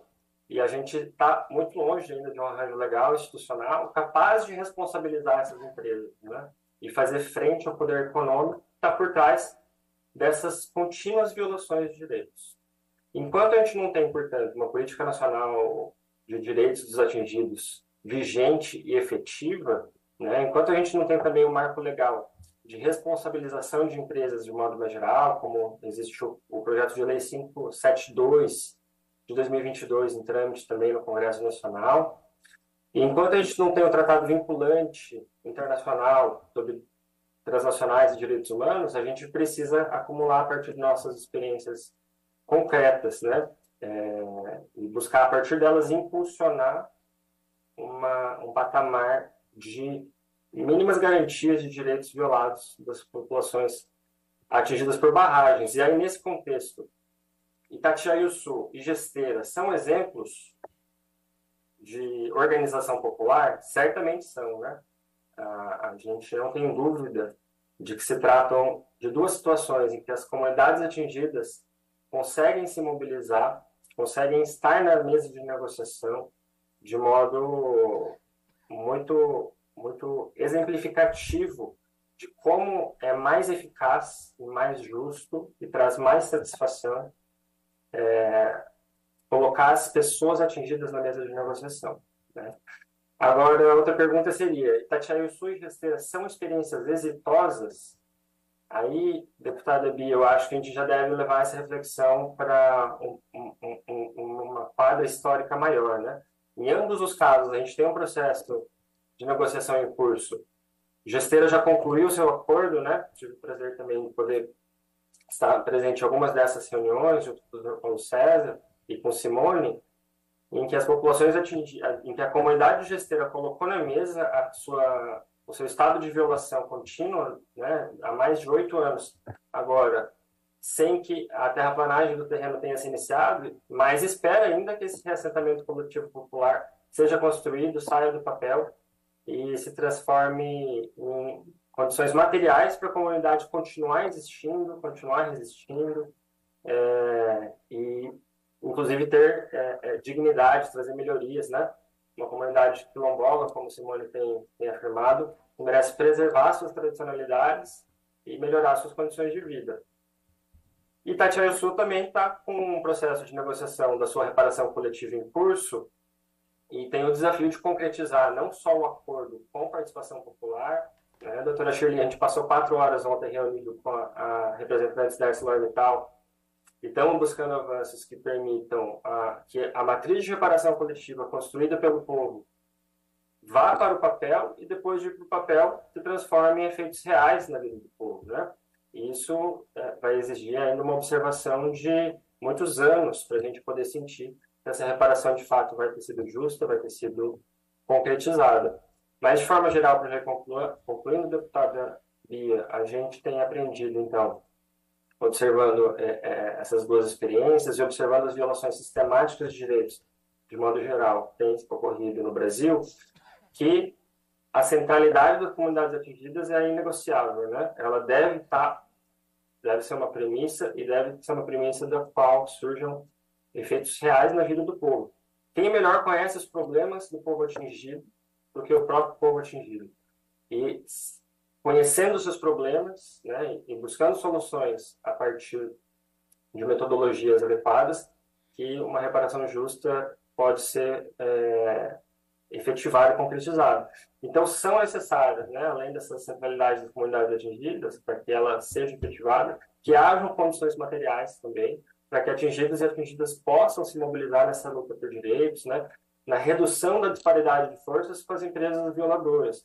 Isso significa assessoria técnica independente, como ainda tem experimentado, mas também outras formas de apoio metodológico é, que, que devem se robustecer, né? devem se fortalecer, se intensificar como ferramentas é, que deem voz ativa às populações atingidas por barragens no Brasil. E aí, essa mobilização para acesso à justiça ser permanente, né, com esse aparato metodológico, é, que, ao nosso ver, também deve ser aprimorado e animado continuamente, né, diante das novas formas de violação de direito, diante da, de cada realidade concreta em cada território, em sua especificidade, é necessário que aparatos metodológicos próprios sejam aprimorados e animados continuamente. Então, concluo com os votos. É, reverberando aí algumas falas anteriores à minha, de que a repactuação, no caso da Samarco, seja realizada com participação popular, né, após oito anos do rompimento da barragem de Fundão. Inclusive, Simone, em memória daqueles e daquelas que, que tragicamente se foram nesse tempo sem terem visto a reparação chegar, o mínimo de dignidade é que as comunidades atingidas estejam no centro do processo de repactuação esperado por nós que estamos observando esse processo. E que a CIMOS, nesse contexto, né, tem um papel relevante, fundamental, exemplar, é, admirável, doutor Paulo César, doutora Shirley Jonas, demais membros da CIMOS que estejam presentes ou nos escutando, siga contribuindo para a reparação justa esperada pelas comunidades atingidas em Minas Gerais, atenta né, à impossibilidade de, de real satisfação e reconstrução dessas comunidades, sem que a gente tenha um compromisso coletivo da sociedade de aprimorar constantemente mecanismos de participação informada e da construção participativa, portanto, de acordos. Concluo, deputada Bia. Guilherme, Com muito... perdão pelo... Muito obrigada pela sua presença e participação. A gente volta aqui agora para os convidados que estão presencialmente. Vou passar as considerações do Marino. O Marino é agricultor, representa a Comissão de Atingidos de Paracatu, que fica em Mariana, e comunidades rurais atingidas pelo rompimento. É, e aproveitando a oportunidade de estar com você fisicamente aqui, né, Marino, mais uma vez em audiência, é, deixar mais uma vez a minha solidariedade a você e o meu repúdio diante da violência que você sofreu, você que estava na, da sua propriedade, né, e funcionários da Renova acionaram é, forças policiais é, e de dentro da sua propriedade, você não teve o direito de dizer né, sobre a sua propriedade. É, nós aprovamos, é, primeiro, solidariedade a você e depois é, solicitação de providência sobre essa conduta. Nós aprovamos isso na Comissão de Direitos Humanos da Assembleia, né, que era a comissão adequada para isso. É dizer que eu lamento muito, porque as mineradoras e muitas vezes o, o, as, a, as instituições do Estado, do município, elas, elas acabam corroborando para mais violência, quando não praticando violência contra as pessoas que já são atingidas, né? pelo crime, pelo crime da Vale, nesse caso Vale Samarque BHP. Eu costumo sempre dizer nos debates aqui da Assembleia que as mineradoras já têm muito poder político e econômico. Elas não precisam de Estado e prefeituras é, fazendo o serviço para elas. Né? É, o Estado e prefeituras precisam proteger as pessoas. Para isso que o Estado serve, é para isso que as prefeituras deveriam servir também. Então, quero deixar meu abraço e meu repúdio é, a tudo que você viveu recentemente. Como se não bastasse tudo que você tem vivido nos últimos oito anos. Né? Então, te passo a palavra para suas considerações. É, bom dia a todos. Eu queria aproveitar também e agradecer a deputada Beatriz, é, em nome meu, em meu nome, em nome da minha família. Queria agradecer a assessoria técnica pelo apoio que eu tive no dia e todos os atingidos não só de Mariana, mas de toda Minas Gerais. Eu recebi apoio de, de Paraupeba, de Brumadinho, eles mandaram até uma muda de, de espada de São Jorge para mim, com um livro onde está todas as pessoas que faleceram em Brumadinho. E teve movimentos lá, pessoas na porta da delegacia. E logo depois que eu fui preso, eu comecei a perceber que ninguém queria que eu ficasse ali mais. Que eu virei um, uma brasa quente ali. E no final deu tudo certo. Eu queria agradecer a todos, muito obrigado mesmo, de coração. Eu acho que, que eles me, me deram tiro com negócio de arma de choque, mas esse tiro saiu pela culata, porque aproximou muitos atingidos isso tudo que aconteceu. É, falar de uma repactuação que não houve as pessoas atingidas, é, eu queria começar falando por Mariana. Mariana, depois do dia 5 de novembro, o nosso promotor, doutor Guilherme de Sameneguim, que é uma pessoa que eu dedico meu imenso respeito, ele entrou com uma ação civil pública e Mariana ficou tendo uma particularidade dentro desse processo de uma forma geral. E Mariana foi tendo avanços, a gente adquiriu direitos, a gente adquiriu assessoria técnica da Caritas, é, foi trabalho em cima de trabalho junto, infelizmente, com a Fundação Renova, mas aonde a gente reformulou o cadastro, tudo era homologado, virou lei. Então, em Mariana, hoje, é só se cumprir o que foi construído para resolver a vida das pessoas. Não precisaria de repactuar nada. Nós começamos a ouvir falar em repactuação aos 45 minutos do segundo tempo, aonde chamaram o doutor Guilherme para uma reunião aí depois que o, o processo estava pronto. É, ele escutou os atingidos e tomou a decisão que se os atingidos não tivessem interesse, ele não iria assinar nada e Mariana não entraria na repactuação. A gente vai observando como é construída as questões. É, de repente entrou um, um juiz, Michael, na Justiça Federal e pediu o processo de Mariana para a Justiça Federal, falando que há conflitos de interesse, que o processo tinha que ser na vara federal. Depois de oito anos, entendeu? Esse juiz ficou 60 dias lá no cargo, saiu da vara federal e entrou um outro que agora não quer o processo mais.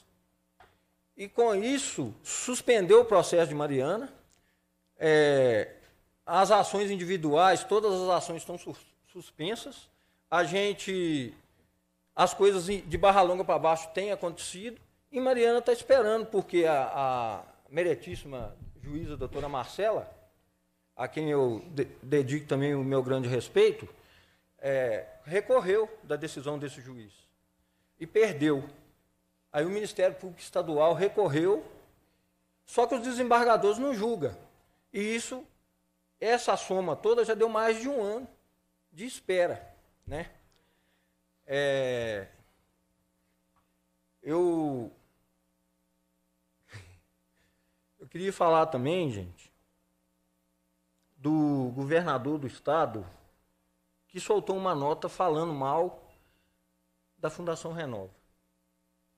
É, essa ausência de, de, participação de atingidos nesse processo é, parece que virou um modelo, porque as instituições que construíram o Acordão e a Fundação Renova hoje falam mal da Fundação Renova e querem fazer repactuação, uma repactuação aonde o Estado de Espírito Santo, Minas Gerais e governo federal estão recebendo em torno de 100 bilhões. E o que é pior, a sensação que a gente tem é que eles pegando esse dinheiro, as empresas ficam livres e o Estado passa a assumir o crime cometido pelas empresas. Como a Simone falou, foi dado um milhão de reais para Barra Longa para comprar um transporte para os alunos. Foi dado um milhão de reais para Barra Longa. Até hoje não se gastou o dinheiro. É isso que vai acontecer na repactuação. Eles vão pegar o dinheiro, igual o Zema fez, pegou a repactuação de Brumadinho, distribuiu para todos os prefeitos de Minas Gerais e ganhou a eleição em primeiro turno. Né? E as questões ambientais, as questões é, coletivas que a repactuação abarca, vão se perder ao longo desse caminho. Lá na nossa região, que é uma região rural, é, as propriedades das pessoas, que nunca dependeu de mineração, hoje virou um depósito de lama das empresas. Será que eles vão ser obrigados, além de sofrer um empobrecimento forçado, adoecimento, guardar lama para essas mineradoras milionárias, né? É, Recapitulando o que eu estava falando com relação à ação civil e o processo lá de Mariana, o que eu entendi depois disso tudo, que levaram o processo de Mariana para a Justiça Federal para incluir Mariana na repactuação, porque as empresas não acham interessante fazer uma repactuação se Mariana não estiver presente. Então a gente, como atingido, fica vendo é, articulações em torno do processo e nós vamos sendo usados. Entendeu? A fala de Zema, por exemplo, os atingidos precisam de ser ter a vida resolvida agora. Agora ou há oito anos atrás? Mas que vida resolvida? Ele usa a gente para falar para a sociedade que ele está fazendo uma repactuação que vai ser boa para nós e para todo mundo. Entendeu? Então, é, é, é eu acho que a justiça está precisando de ser célere. O promotor Carlos Bruno, que não está aqui, queria que tivesse. Por quê? Mariano vai ficar sem assessoria técnica até no final do ano. E ele lavou as mãos. O novo juiz que assumiu lá falou que não tem interesse no processo. Então por que, que foi mexer com a gente que está quieto lá trabalhando e construindo a nossa vida?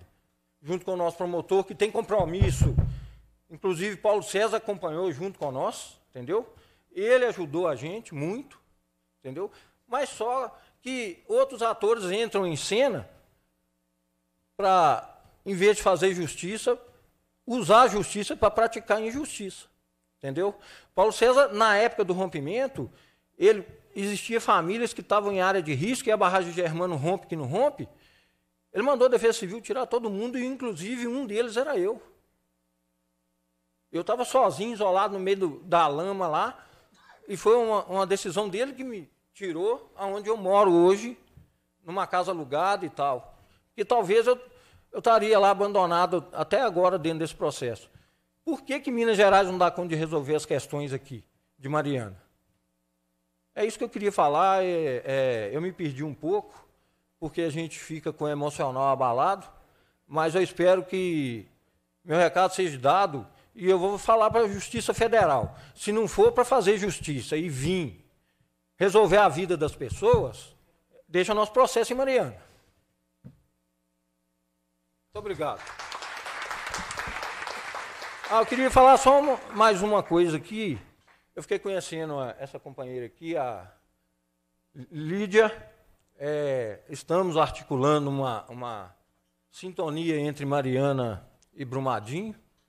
E eu queria que isso se expandisse para as outras comunidades, Congonhas, é, porque esse processo de rompimento de barragem virou uma é, epidemia em Minas Gerais, né? Você pode pegar Itatiaia Sul, Paraupeba, Mariana, Barra Longa, vem Antônio Pereira, onde as pessoas estão sendo criminalizadas. Em Antônio Pereira, eles deram um tiro de bala de borracha numa moça e ela ficou cega. Poucos dias agora. Entendeu? E eu acho que se a gente conseguir se unir e trocar experiências, a gente vai avançar muito dentro desse processo. Muito obrigado, Bia, por ter acreditado mais uma vez na minha palavra aí. Deus que pague aí. Com Deus aí. Nós que te agradecemos, Marina. E pode ter certeza, eu sempre acredito e acreditarei em você. As criminosas mentem, as mineradoras mentem o tempo todo. Não é? Então, a nossa referência do que acontece na vida são vocês estão aqui na mesa, são vocês que estão aqui participando, que moram, né? Moram em cidade atingida pelo crime, oito anos depois. Né? Então, eu que te agradeço e sua fala, como sempre, foi perfeita. Perfeita, trazendo toda a violação de direitos em poucos minutos, em oito anos. Então, estamos juntos sempre aí nessa luta. Eu vou, na sequência, convidar a Lídia. A Lídia é presidenta do Conselho Fiscal da Associação Acopapa, entidade que representa os atingidos da zona quente das comunidades de Parque da Cachoeira, Parque do Lago e Alberto Flores, no município de Brumadinho. Lídia, bem-vinda, com a palavra para suas considerações. Muito obrigada, deputada. Mais pertinho o microfone, por favor. Okay. Muito obrigada, deputada. Meu nome é Lídia, represento a Copapa, Associação, Associação de Moradores dos atingidos zona quente em Brumadinho. Eu vim trazer a nossa vivência após cinco anos de tragédia que assolou o nosso município. Até hoje não temos uma matriz de danos. A única coisa que foi realizada para reparação foi um termo de compromisso com a Defensoria Pública, a empresa Vale, a empresa vale de forma unilateral, onde os atingidos não foram ouvidos. O termo de compromisso foi afirmado com pouco mais de dois meses em abril de 2009, onde o próprio Ministério Público ele relatou é, é, que esse instrumento ele foi construído sobre a falta da participação da sociedade e dos próprios atingidos. Então, é importante ressaltar sobre o termo de compromisso que ele foi firmado é, com um cenário, deputada, onde a população estava totalmente apavorada e os danos reais não eram tangíveis.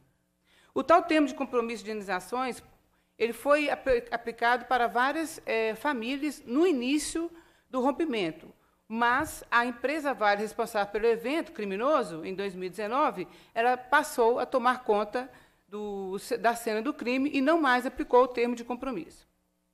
Eu digo isso com propriedade, pois, ao longo desses quase cinco anos, as famílias têm seus, seus pleitos negados na via extrajudicial por motivos mais esdrúxulos possíveis. Não há clareza nos valores pagos e as cláusulas absurdas na qual o atingido ele é obrigado a dar quitação, quitação total dos danos sofridos com a assinatura do acordo. Um exemplo, deputada, da injustiça cometida pela Vale é a separação das nossas comunidades. Eu até convido a deputada, por favor, nos visitar, para que a senhora veja com seus próprios olhos que a gente, que a gente vivencia lá. Ela separou, a Vale separou a nossa comunidade em Parque do Lago e Parque da Cachoeira. Ora, nós somos uma única comunidade. O acesso é único. Não tem como se fazer um tipo de separação desse. Isso é inconstitucional. Tanto que para ela entrar no Parque da Cachoeira tem que passar pelo Parque do Lago. Né? E o outro lado, ele está sob lamas, lama tóxica. Lama essa que vem trazendo aí um resultado muito tóxico a todos os moradores das nossas comunidades.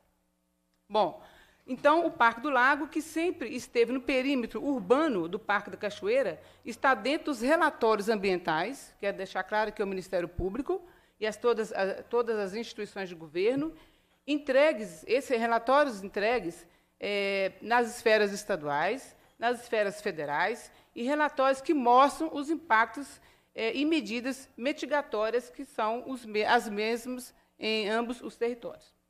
Pergunta que não quer calar. Por que eles fazem isto? Para economizar? Para não pagar os atingidos? Hoje, nós sofremos com a falta de água, poeira, materiais pesados no organismo, transtornos mentais, todos totalmente abalados. Vivemos em cemitério, cemitério a céu aberto, um bairro fantasma. E, no entanto, no início das indenizações, os primeiros imóveis adquiridos pela empresa Vale foram dentro do Parque do Lago existem vários imóveis indenizados pela mesma neste território. Quero saber o porquê dessa discriminação. Hoje, clamamos à Câmara dos Deputados, aqui presente com a ilustre deputada Beatriz, que nos ajude, por favor, a fazer valer o termo de compromisso que está inserido no acordo global com o Estado de Minas Gerais. Aquele lá de 37 bilhões de reais. Nesse acordo global, junto com o Estado de Minas Gerais, mais precisamente o nosso governador Romeu Zema, é, a Vale se compromete a indenizar toda a população com base nesse termo de compromisso, mas infelizmente ela não faz. Estamos ilhados, volto a dizer, é, em um mar de lama e não temos para onde ir. Ao contrário, né, ela está querendo entregar as casas, deputada, é, num, em pleno cemitério e num, num bairro fantasma, de alta periculosidade, aonde de 18 de outubro agora, quero ressaltar que teve um tiroteio em plena luz do dia, bandido atrás de bandido, e a polícia militar teve que escoltar ônibus e vans escolares para não atingir as nossas crianças. E os moradores tiveram que entrar para dentro das suas casas para, para se proteger e não ser alvejados. Exigimos a abertura da FALEC, Bom, a FALEC é o sistema para pleitear as ações na via extrajudicial, tendo em vista a morosidade, deputada, na esfera judicial, que é absurda e desumana. Exigimos que o Parque da Cachoeira ele seja respeitado na sua integralidade. Exigimos um processo transparente para todos, respeitando os direitos de isonomia e igualitário.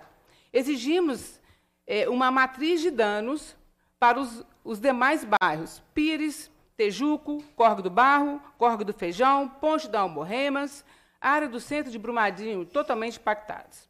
Exigimos a matriz de danos, deputada, com a participação popular, não somente uma, uma realizada pela própria empresa responsável pelo crime.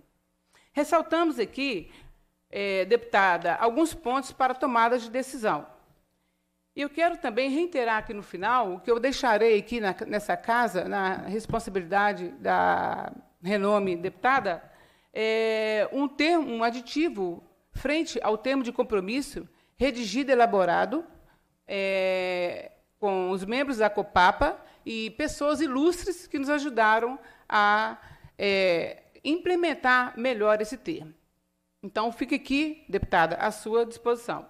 A COPAPA é, pede em caráter de urgência análise e aprovação desse, desse aditivo, que eu vou deixar aqui nessa casa, é, frente aos danos e os impactos sofridos é, e existentes no cenário atual.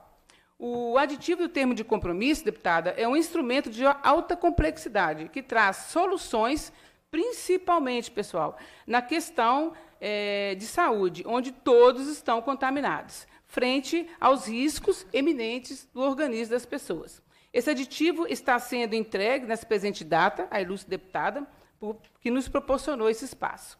A Copapa pede à ilustre deputada que insira na mesa é, é, dos comprometentes, eu peço até que a licença ao Ministério Público e a todas as entidades é, governamentais, as instituições, as instituições de justiça que nos representam, para, para que abra esse espaço, porque isso é inconstitucional.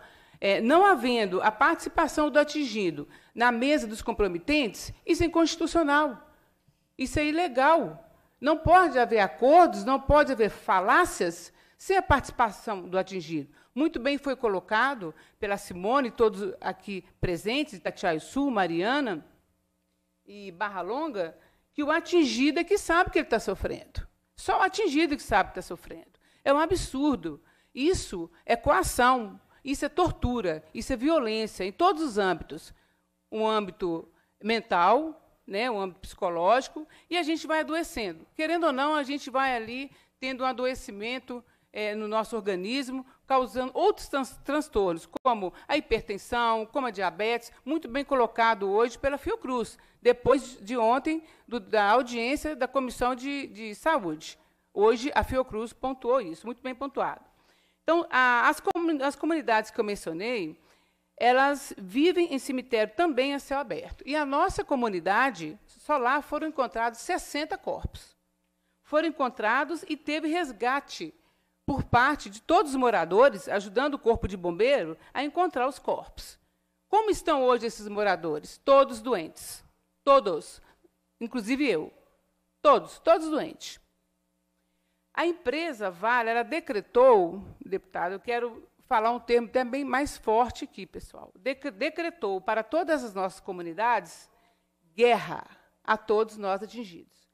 E eu falo guerra não é só para Brumadinho, não. Eu falo guerra para Mariana, eu falo guerra para Barra Longa, eu falo é, guerra para Itatiaia Sul, e dentre outras mais, que eu peço que não há rompimento de barragem. Eu peço que ninguém passe o que nós estamos passando. Por quê? Só o atingido pode falar do seu tamanho e sofrimento. E não é só o atingido que sofre, a sua família sofre com ele também. É, com base nisso, exemplo do, do Marino eu tive aqui a honra de conhecer e conhecer a todos aqui presentes nessa mesa. Por fim, eu quero deixar claro que nós estamos sendo bombardeados pela discriminação, pelo abandono do poder público, pelo desrespeito da empresa Vale em obrigar os atingidos a provar os danos sofridos, os impactos sofridos. Por provar que estão doentes, eu tenho que provar que eu estou doente. Né? Sendo estes um critério, um critério para análise indenizatória, o que antes não era aplicado, deputada. Antes não era aplicado, não. Antes era aleatória as indenizações. Era, é, não, não, existia metodologia para indenizar. Aí nós, é, a Copapa, uma instituição de renome, ela foi pela esfera administrativa, deputada, e reuniu várias e várias vezes, tanto com a Defensoria Pública, Direitos Humanos, Ministério Público e a, e a própria empresa Vale. E a empresa Vale, a todo momento, ela, sabe o que ela disse para a gente quando a gente perguntou por que, que vocês indenizaram tantas pessoas no início e agora não? Sabe o que o jurídico da Vale nos disse? Ora, foi um erro da empresa. Repito, foi um erro da empresa. Erro que nós não vamos cometer mais.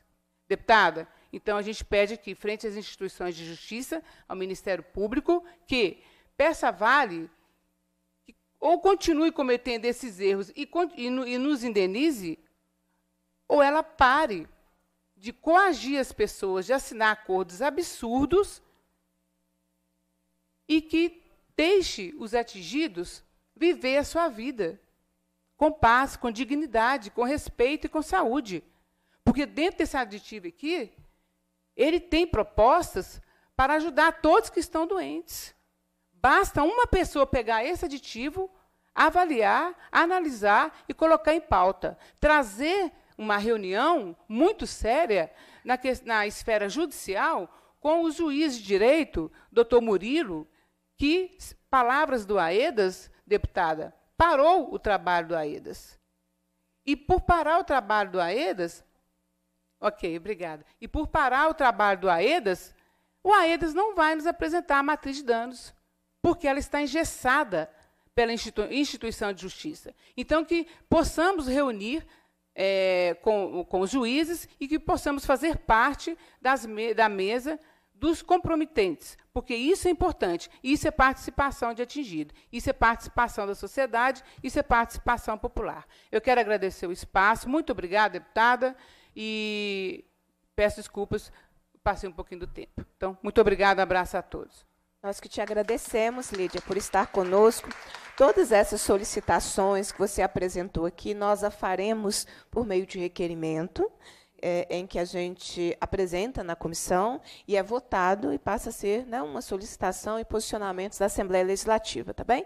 Então, nós faremos esses requerimentos. Eu vou passar as considerações agora do Rafael Augusto Gomes. O Rafael é, é vereador da Câmara Municipal de Barão de Cocais. Barão de Cocais também recebeu a visita institucional da Assembleia Legislativa, iniciativa minha, é, através de requerimento aqui na Comissão de Administração Pública também, né, em que nós fizemos lá uma escuta e um processo de fiscalização. Né, lá é a Vale, né, lá é a Vale, é, e foi muito...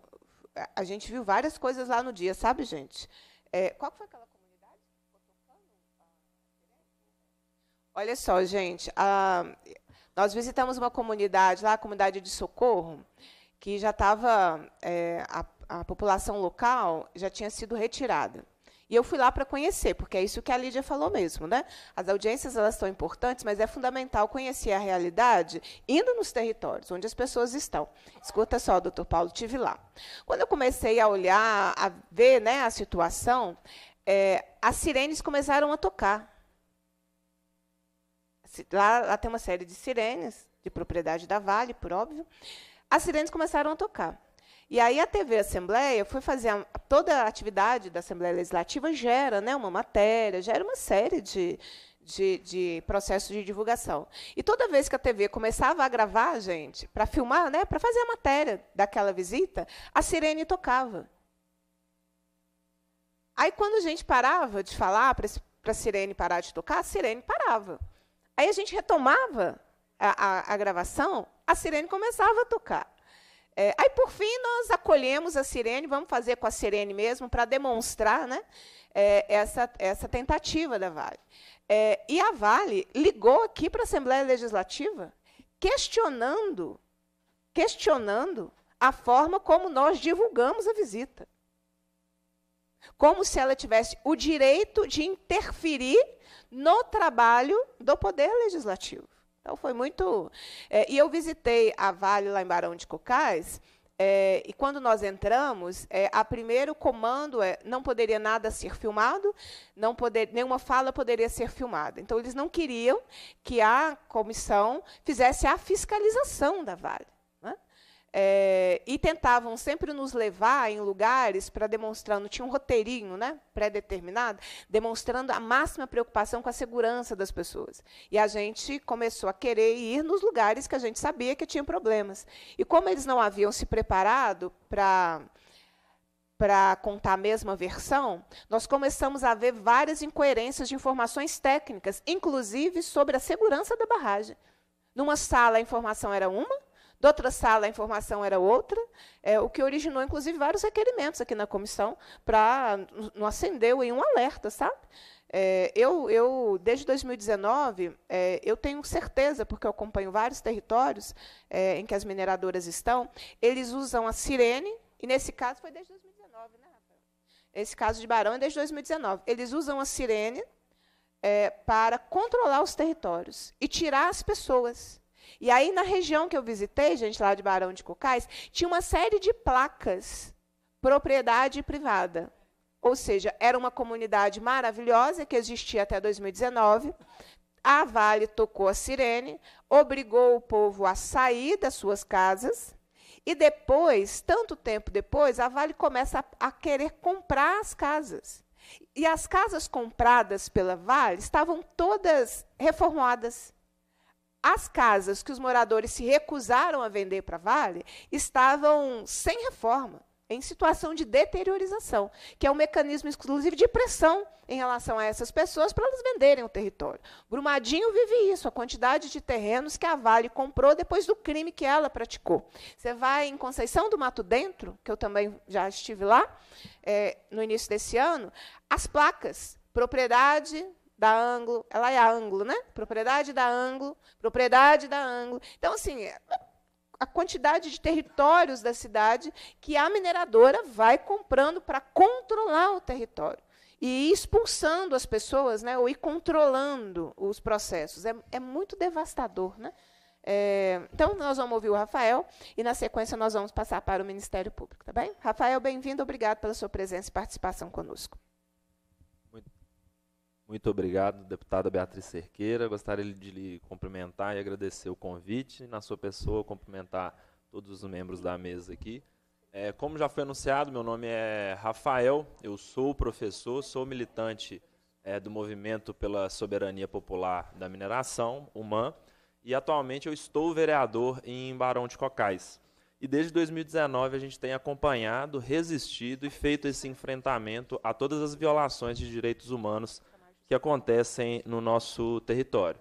De 2021 para cá, na situação de vereador, de fato. Né?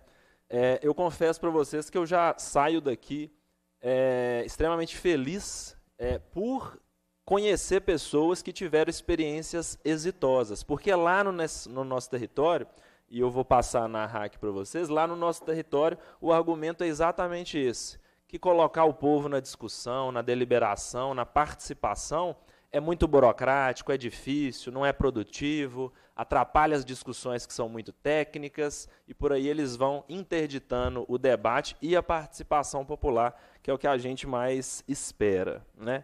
Então, a gente sai aqui com o pessimismo da razão, mas o otimismo da vontade, da esperança para alterar é, essa realidade também lá do nosso município. É, Barão de Cocais, pessoal, é uma cidade do interior de Minas Gerais. A gente tem apenas 32 mil habitantes. E lá o que, que aconteceu? A partir do dia 8 de fevereiro de 2019, as sirenes tocaram. De madrugada, curiosamente, toda a estrutura da Vale estava montada para receber uma população que nunca tinha recebido treinamento para uma evacuação desse porte a gente conceitua o que aconteceu em Barão de Cocais como terrorismo de barragem, que é isso que a deputada acabou de falar, a utilização das sirenes, do terror, do desespero e da fragilidade de gente sem informação para se apropriar desse tipo de território. E em Barão de Cocais, a Vale vem conseguindo implementar de forma muito clara e exitosa esse projeto, com conivência das autoridades municipais e também do governo do nosso estado. É, eu trouxe como informação aqui a importância de ter participação popular, a importância de se ter assessorias técnicas durante esse processo, um contraponto de Barão de Cocais. É, a gente teve lá, em dezembro de 2021, há uma pesquisa, na verdade, foi publicada a pesquisa em dezembro de 2001, foi concluída a pesquisa da própria Simos, que fez um trabalho de campo maravilhoso em Barão de Cocais, do qual a gente pôde acompanhar e servir também de apoio. Essa foi uma pesquisa para entender como que a população se sentia atingida. Porque o que, que a Vale fez a partir do dia 8 de fevereiro de 2019? Ela escolheu quem era atingido. Ela identificou as pessoas que seriam passíveis de reparação, indenização e excluiu parte da população. E mesmo os atingidos, ela separou.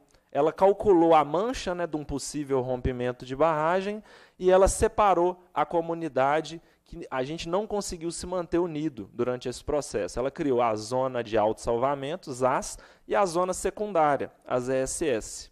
Dentro das AS, houve algum tipo de reparação, mas mesmo assim insatisfatória. Nas ESS, nem isso. Então o Ministério Público foi lá, fez por meio da CIMOS uma pesquisa muito interessante para entender qual que foi o impacto desses eventos na cidade. É, esses eventos eles é, eles foram pesquisados né, é, na zona que a gente chama de zona de mancha, né, aquela que seria inundada numa, num possível rompimento da barragem sul superior, e nessa área de mancha moravam e moram ainda 6 mil pessoas em Barão de Cocais. A amostragem dessa pesquisa é quase 20% disso, então é uma amostragem muito interessante. 74% das pessoas identificaram ou relataram algum tipo de dano à sua saúde mental. 71% identificaram queda na sua qualidade de vida. E aí eu vou trazer alguns dados aqui de Barão de Cocais, mas vou diferenciar a zona de autossalvamento e a zona secundária. É, em Barão de Cocais, ao todo, 92% das pessoas que responderam à pesquisa registraram pelo menos um dano às suas vidas. 51% solicitaram indenização 35% tiveram pedido negado, 19% fecharam acordo, 15% receberam, apenas 15% receberam integralmente os valores solicitados e apenas 4% saíram satisfeitos desse acordo. Os números são ainda piores quando a gente separa, porque esse é o quadro geral de Barão de Cocais. Quando a gente analisa a zona de autossalvamento, que foi aquela zona que a Beatriz acabou de falar, que tem as comunidades de Socorro, Piteiras, Tabuleiro e Vila do Gongo, é, quando a gente analisa os dados dessa zona de autossalvamento, a gente tem que 100% das pessoas identificaram pelo menos um dano, 87% solicitaram indenizações, 73% tiveram é, algum tipo de, de negativa, 56% fecharam acordo, 38% receberam o valor integral e apenas 10% saíram satisfeitos. Só que esses valores, esses, esses dados, eles são maiores em relação às ESS, que é onde teve maior violação dos direitos, inclusive a informação dessa população. Nas ESS, que é a zona urbana de fato da cidade, a gente tem 91% das pessoas relatando pelo menos um dano, 43% solicitando é, indenização, 27% tendo seu direito negado, 12% apenas fecharam o acordo, 9,8% receberam o valor integral, e aí é ínfima a relação dos satisfeitos, apenas 2,6%. O que, que eu quero dizer? Que o acesso à informação ele é fundamental durante esse processo Está na nossa lei estadual de atingidos por barragem. Em Barão de Cocais, isso foi sumariamente violado e negado. Além de não garantir a participação popular na, na costura desses acordos de gabinete, a gente teve, portanto, a negação também da informação para essa comunidade. Além de excluir essas pessoas da mesa de negociação, não lhes deram sequer informação. Porque, olha só, 43% solicitaram indenização. Mas ao todo na cidade, a gente tem 92% das pessoas que identificaram algum dano. Por que, que o percentual daqueles que solicitaram é tão menor se eles se identificam como atingidos também pela mineração, pela barragem? Essa é uma grande questão.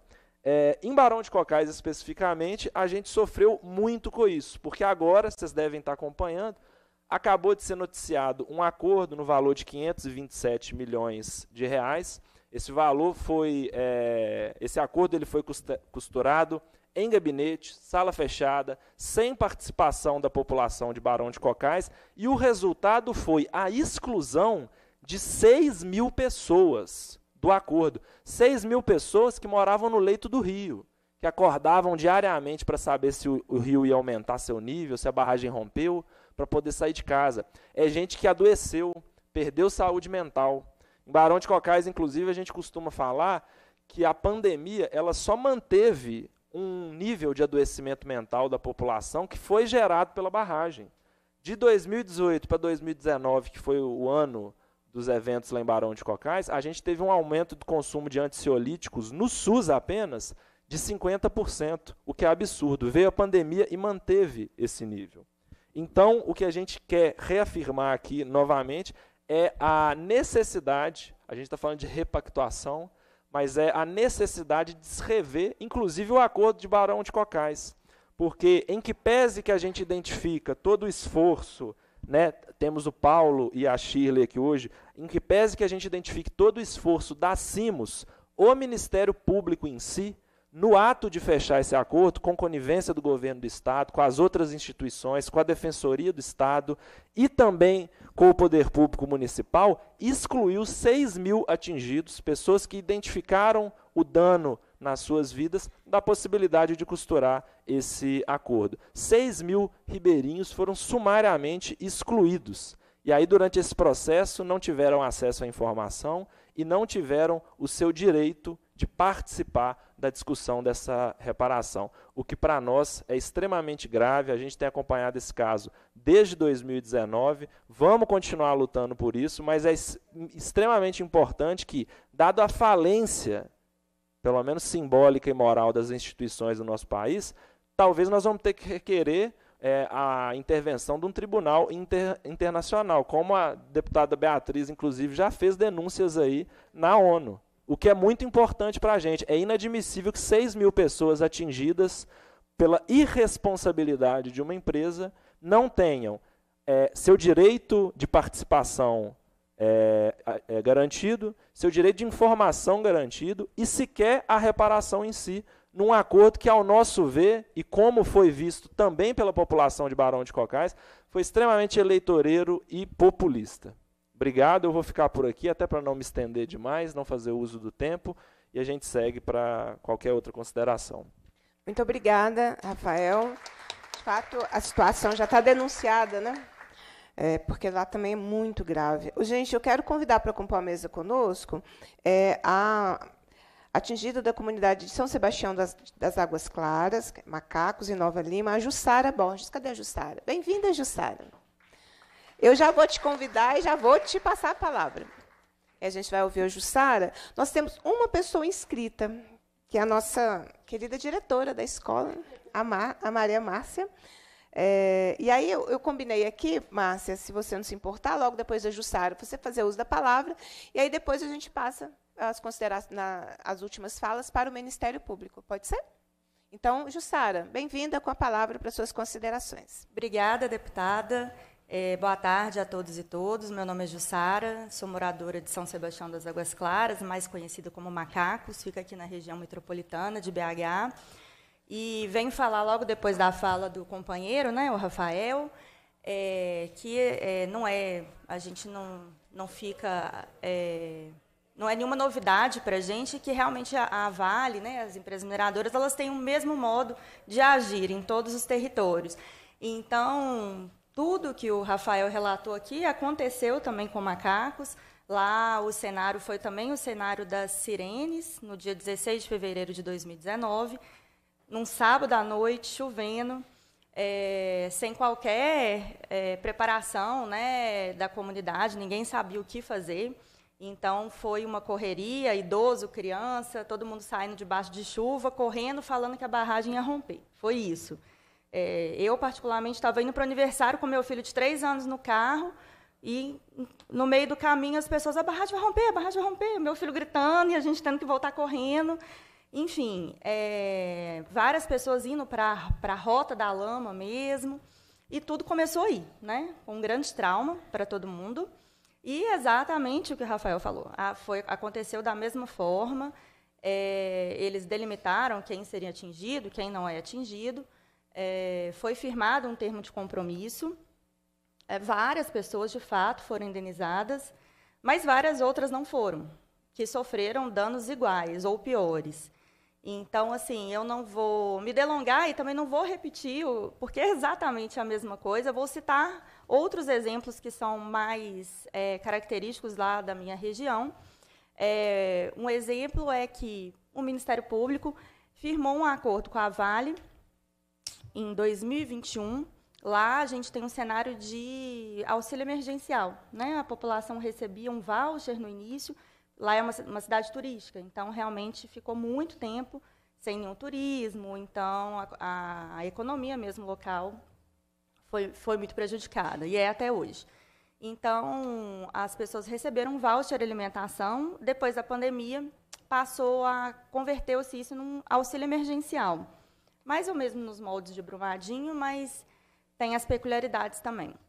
E é, as pessoas, esse acordo que foi feito sem nenhuma escuta da comunidade, simplesmente as pessoas que assinaram o acordo extrajudicial, depois homologado em juízo, não receberam mais o auxílio. Mas, assim, a grande gravidade que eu vejo nesse caso é ah, que, ah, ninguém sabia esse, esse, esse corte do auxílio ele foi retroativo. Até pessoas que, assinar, que firmaram acordos antes desse acordo do MP com a Vale também perderam direito ao auxílio. E elas não tinham, é, elas não tiveram oportunidade de escolha, porque esses acordos eles indenizaram é, algumas espécies de danos que foram elencados nesse termo de compromisso, também firmado entre Vale e Defensoria. É, então, eu vou dar um exemplo aqui. Tiveram danos, que é o aumento do custo de vida que eles colocam, que é aquele dano de pessoas que têm que desviar, que de fato até hoje, por conta das AS, das zonas de alto salvamento, tinham que desviar muito para ir e voltar. Então, é um dano que a Vale dava de 3 mil reais. As pessoas firmaram esse termo de, esse, esse acordo para receber 3 mil reais. Nas reuniões de acordo e no acordo firmado, homologado em juízo, não tinha nenhuma cláusula que dissesse que se eles assinassem, eles perderiam o direito ao auxílio. É, inclusive, todas as, as, reuniões, as pessoas tinham esse medo e perguntavam aos advogados da empresa e eles falavam não é condicionado. E depois veio esse acordo que foi retroativo. Então, assim, sem nenhuma escuta da comunidade e, e, e retirando direitos mesmo. Assim, é, é, por exemplo, essas pessoas que, que aceitaram esse acordo de 3 mil reais, é, hoje, depois de um novo acordo que foi feito, o auxílio está garantido até 2025. Pessoas firmaram lá atrás, em 2019, e olha que loucura, né? E deixaram de receber um salário mínimo. É, por isso, por um acordo feito dentro de gabinete, sem qualquer escuta da comunidade, assim. Além disso, outro fato grave é também em relação a esse auxílio que não teve nenhum critério na distribuição. Vários moradores que fizeram os cadastros à época, que chegaram a receber e deixaram de receber, que foram cortados, que fizeram cadastro que o marido recebe e a mulher não recebe, enfim. É, são só alguns exemplos assim da, da, dos vários danos né, que a empresa causa e tem causado. Com relação a esse último acordo que foi feito, é, que foi né, com a participação do, do Ministério Público, da Defensoria, Prefeitura. Também a gente não teve nenhuma participação dos, dos atingidos. É, e era isso que a gente pedia. Ela é uma comunidade pequena, mas bem ativa assim, na cobrança dos seus direitos, mas mesmo assim a gente não conseguiu ser escutado, não teve nenhuma, nenhum representante de, de comissões na mesa, é isso que a gente quer. A Defensoria até tentou fazer algumas reuniões, efetivamente fez algumas reuniões, mas é isso, eles não conseguem pegar a demanda, né? E, e, ter uma, um atingido ali na mesa de negociação faz toda a diferença, e a gente não teve. Então, hoje a gente está num cenário que esse acordo já foi firmado já tem um ano, não vimos nada acontecer, o dinheiro, salvo engano, foi transferido para a prefeitura, mas nada foi movimentado até então. Assim, a gente não tem também muito acesso a essas informações. É, é, isso, também não vou me delongar mais, a gente continua é, na luta e o dano continua. Nós hoje é, temos uma barragem com nível 2, né? as pessoas continuam evacuadas, não podem voltar para suas casas. E só um outro exemplo aqui que, que me vem, que eu vou lembrando, né, dos moradores e das, das violações de direito que eles têm sofrido. É, tem alguns moradores de Zaz que até hoje estão aguardando uma resposta dos processos de indenização extrajudiciais, que esses processos eles foram é, ingressados em 2019, 2020 e até hoje, vai fazer cinco anos, estão num processo de mediação, esperando é, a indenização. Alguns já ajuizaram, mas de fato a, justi a justiça é mais lenta.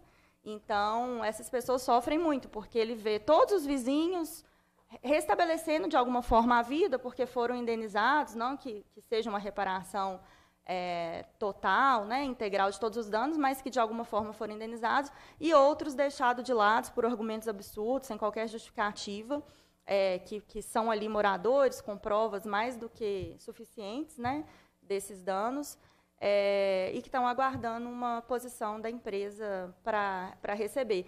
Se é, vamos supor, a, a, barragem de reduzir o risco que essas pessoas possam voltar para suas casas, elas não querem.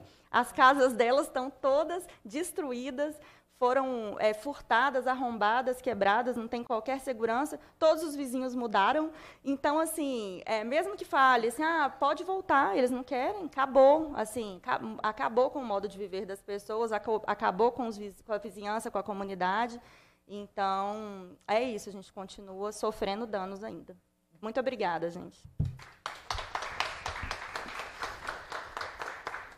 Sara, nós que agradecemos sua presença e participação, é, assim como quero agradecer também a presença do Rafael, de Barão de Cocais, agradecer a presença da Simone, Barra Longa, o Marino, lá de Mariana, a Lídia, né? é, porque o que a gente pode fazer permanentemente é esse processo para que a gente vá avaliando e vá dizendo o que está acontecendo. Porque desde que os crimes das mineradoras se intensificaram no nosso estado, muita gente fala por vocês. Muita gente tenta decidir por vocês. Não é? Então, o que, que a gente pode fazer? É espaços como esse, que a sociedade inteira tem acesso ao que está acontecendo. Porque a gente também se depara com muita campanha publicitária das mineradoras. A Renova, isso foi uma questão que nos chamou a atenção, o quanto ela investe em publicidade, porque ela precisa construir uma narrativa na sociedade de que está tudo bem. É, com dinheiro que deveria ser utilizado para reparação, ela paga a campanha publicitária. E são muitas campanhas publicitárias. Não é? Então, o nosso trabalho, né, que é, ele precisa ser permanente, é exatamente esse. Né? E a gente optou por fazer essa audiência nessa semana, em que rememora né, os oito anos do crime da Vale, Samarque BHP, em Mariana e na Bacia do Rio Doce. Porque a gente tem que fazer balanços. Como é que, tá, como é que cada, cada parte do Estado se, tem se comportado? Como é que vocês têm vivido as violações de direitos, é, para que a gente também possa dar continuidade às cobranças e fiscalização. Então, eu quero agradecer muito a todos vocês que vieram à nossa audiência. Eu quero agora chamar a nossa diretora da escola, a, é, a diretora Maria Márcia. Nós estamos aqui com os estudantes da Escola Estadual Padre José Epifânio Gonçalves. Quero agradecer muito a presença de todos os estudantes. É, eu estou devendo uma visita à escola, né? então estou renovando a minha dívida com vocês, que eu farei a visita à escola. Mas hoje vocês vieram nos visitar aqui na Assembleia e participar dessa audiência. Diretora, muito obrigada. Com a palavra para suas considerações. Eu que agradeço, né? É assim, essa nossa vinda aqui foi foi muito bom. É, eu sou, né, bom dia a todos e a todas, é, prezada deputada Beatriz Cerqueira, um bom dia, bom dia demais componentes da mesa. Eu estou como diretora da Escola Estadual Padre José Epifânio Gonçalves. Né? Estou aqui com alguns né, dos nossos alunos do ensino médio, pais, professores, a nossa companheira de luta, é, colega Simone, né, que está lá sempre nos ajudando, nossa parceirona. É, deputada, a, no, a nossa escola ela foi atingida, não só atingida, mas foi inundada pela lama do rompimento da barragem de Fundão Mariana. Ela foi inundada. O nosso, a, a, nossa quadra poliesportiva, o nosso campinho, a nossa biblioteca, ao nosso laboratório de informática, o laboratório de ciências, a biblioteca. E tínhamos também vários, é, nos arquivos, documentos, que eram arquivo é, né, lá na, no subsolo da, da escola, eles foram totalmente perdidos. Repararam? Repararam sim. Repararam, maquiaram, porque até hoje nós temos problemas com a, a água eh, na, da rede hidráulica, da rede de esgoto, é, trincas, os, é, a quadra, deputada. A quadra, ela foi. Até hoje eles não é, fizeram, não repararam, não reconstruíram a quadra. O piso da quadra é o mesmo que na época do, do, da inundação da lama, é o mesmo em que as máquinas entraram lá para limpar a quadra e é o mesmo. Ali, imagina um piso que entra máquinas pesadas para a retirada da lama. Ali, nossos queridos alunos é, estão aí de prova que vira e mexe, tem um é, caindo, machucando um tornozelo, uma mão, né? por causa desse piso irregular. A nossa cidade, deputada, ela perdeu várias é, áreas de lazer, inclusive as quadras disponíveis para os nossos alunos praticarem o futsal. E a, a escola ela é aberta aos finais de semana para os nossos estudantes, para praticarem o futsal de uma forma precária, né? Mas que é um único, único espaço em que a escola, a cidade oferece. Porque a outra quadra que tem lá para prática do futsal está interditada, né? após o rompimento da barragem. Deputada, é, não só nós, né, Padre Pifano, mas tem, nós temos assim mais duas escolas, como é conhecimento da senhora, é, em Barra Longa, né? a gesteira e a escola de educação infantil. E até é, é, e após o rompimento da barragem, deputada, os nossos estudantes e toda a comunidade escolar, né, porque nós temos aí né, é, os professores, funcionários, as famílias, né, é, manifestaram vários tipos de doenças. Uma delas que a gente vê assim gritante é a ansiedade, doenças de pele, né, diabetes, pressão alta, depressão, né? desculpa. Aí, e, e, outra coisa que eu gostaria de, de falar também, que nada foi feito. Houve um silêncio pedagógico nós não fomos reconhecidos como verdadeiros atingidos e, né, pela essa lama. Porque nós, na época, deputada, enquanto funcionários, estudantes, professores, fomos, entramos na lama é, para limpar todo o material que sobrou dentre eles instrumentos musicais, tentamos recuperar alguns livros da biblioteca que ficaram mais acima, e nós ficamos apenas é, uma semana sem aula. Depois, deputada, a nossa escola continuou naquela, no, ao meio de todo aquele transtorno. Máquinas pesadas, barulho, homens é, né, entrando, eh, trabalhadores né, entrando e saindo a todo momento da, da nossa escola, porque tinha que fazer a retirada daquela lama, poeira, eh, professores eh, né, assim, usando máscara, nós usamos máscara um bom tempo, e, e aí nós estamos aqui né, representando uma boa parte da nossa escola, para que é, pensem uma, algo, alguma coisa para que a, o, o, que nós sofremos seja é, reparados, né? É, tem alguma re, re, repactuação para as escolas e seus atores? O que tem feito? A gente está aqui pedindo esse auxílio, porque enquanto nós fomos esquecidos da, de todo o processo, a escola é como se não é, tivesse atingido. Né? Ali, eles só vão para fazer um relatório, ou vão fazer uma pergunta, que, na verdade, eu nem sei mais. O, né? É, eu estou na direção é, desde janeiro, mas estava como especialista antes.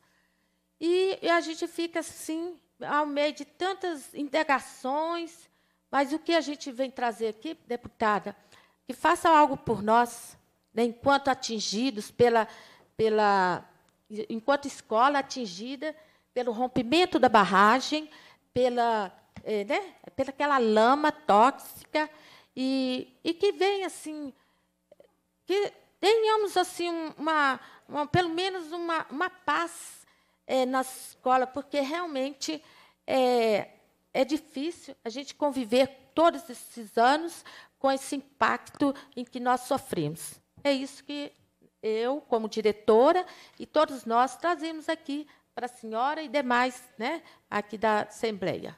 Muito obrigada. Nós que te agradecemos. Ah, e eu vou reforçar o convite da senhora, né, para a senhora, de conhecer a nossa escola, né? Porque ela já foi em Barra Longa, claro, mas eu, eu, a próxima ida a Barra Longa, faça favor. Perfeitamente. Obrigada. É, nós já aprovamos na Comissão de Educação, Ciência e Tecnologia, que lá eu sou presidenta, é, a visita da comissão à escola. Então, nós estamos batalhando para agendar bem? Tá bom. É porque o governo do estado dá muito trabalho para mim aqui, sabe? Então eu não posso sair aqui, é meio que orar e vigiar, sabe, gente? É, então, aí às vezes eu fico mais mais focada aqui pelos momentos né, das pautas que nós estamos enfrentando. Mas eu estou batalhando o agendamento. Assim como também nós já aprovamos visita é, acho que Santa Bárbara, Catas Altas, né, em escolas, porque nós sabemos como as escolas são atingidas pelo que as mineradoras fazem, né? É com rompimento e muitas também pela atividade da mineração, é. né? É, Catas Altas viveu a, a, no final de outubro, foi Catas Altas mesmo, né? Viveu no final de outubro um, uma situação assustadora, né? de, uma, de nuvens de poeira invadindo a cidade. Nós já acionamos as autoridades sobre isso. Né? É, então, é muito importante que a, a, a escola, na minha opinião, é um lugar que a gente tem a leitura do mundo de tudo o que está acontecendo. E a gente tem que, a sociedade e, e, as instituições precisam aprender a escutar mais a escola. Né? Vocês recebem muita ordem, muito memorando, muito ofício, né? muita, muita resolução, tem muita gente para dar ordem. Vai estar tá faltando gente para escutar a escola. Né? Então, tem esse meu compromisso, tá bem? Muito obrigada. Aí eu que agradeço né, pela, pelo espaço. Nós vamos agora ouvir. Paulo, eu quero muito te agradecer né, por, pela sua presença, parabenizar né, pela coordenadoria é, de inclusão e mobilização sociais. É muito importante quando a gente vê um trabalho como vocês desenvolvem, é, que foram trabalhos que deram certo. Né? A, nós fizemos essa audiência aqui convidando é, é, situações em que a, a, o processo de negociação, né, é, as negociações deram certo, e também convidamos lugares em que não deu certo. Né? Se não tem a participação efetiva do atingido, não deu certo. É quem está lá que sabe. Né? Da sua vida. Então, nós fizemos, construímos para ter essas duas perspectivas. É, e a CIMOS está convidada aqui pela perspectiva boa, por, por processos que deram certo. Né? Então, queria muito te agradecer e te passar a palavra, então, para as suas considerações.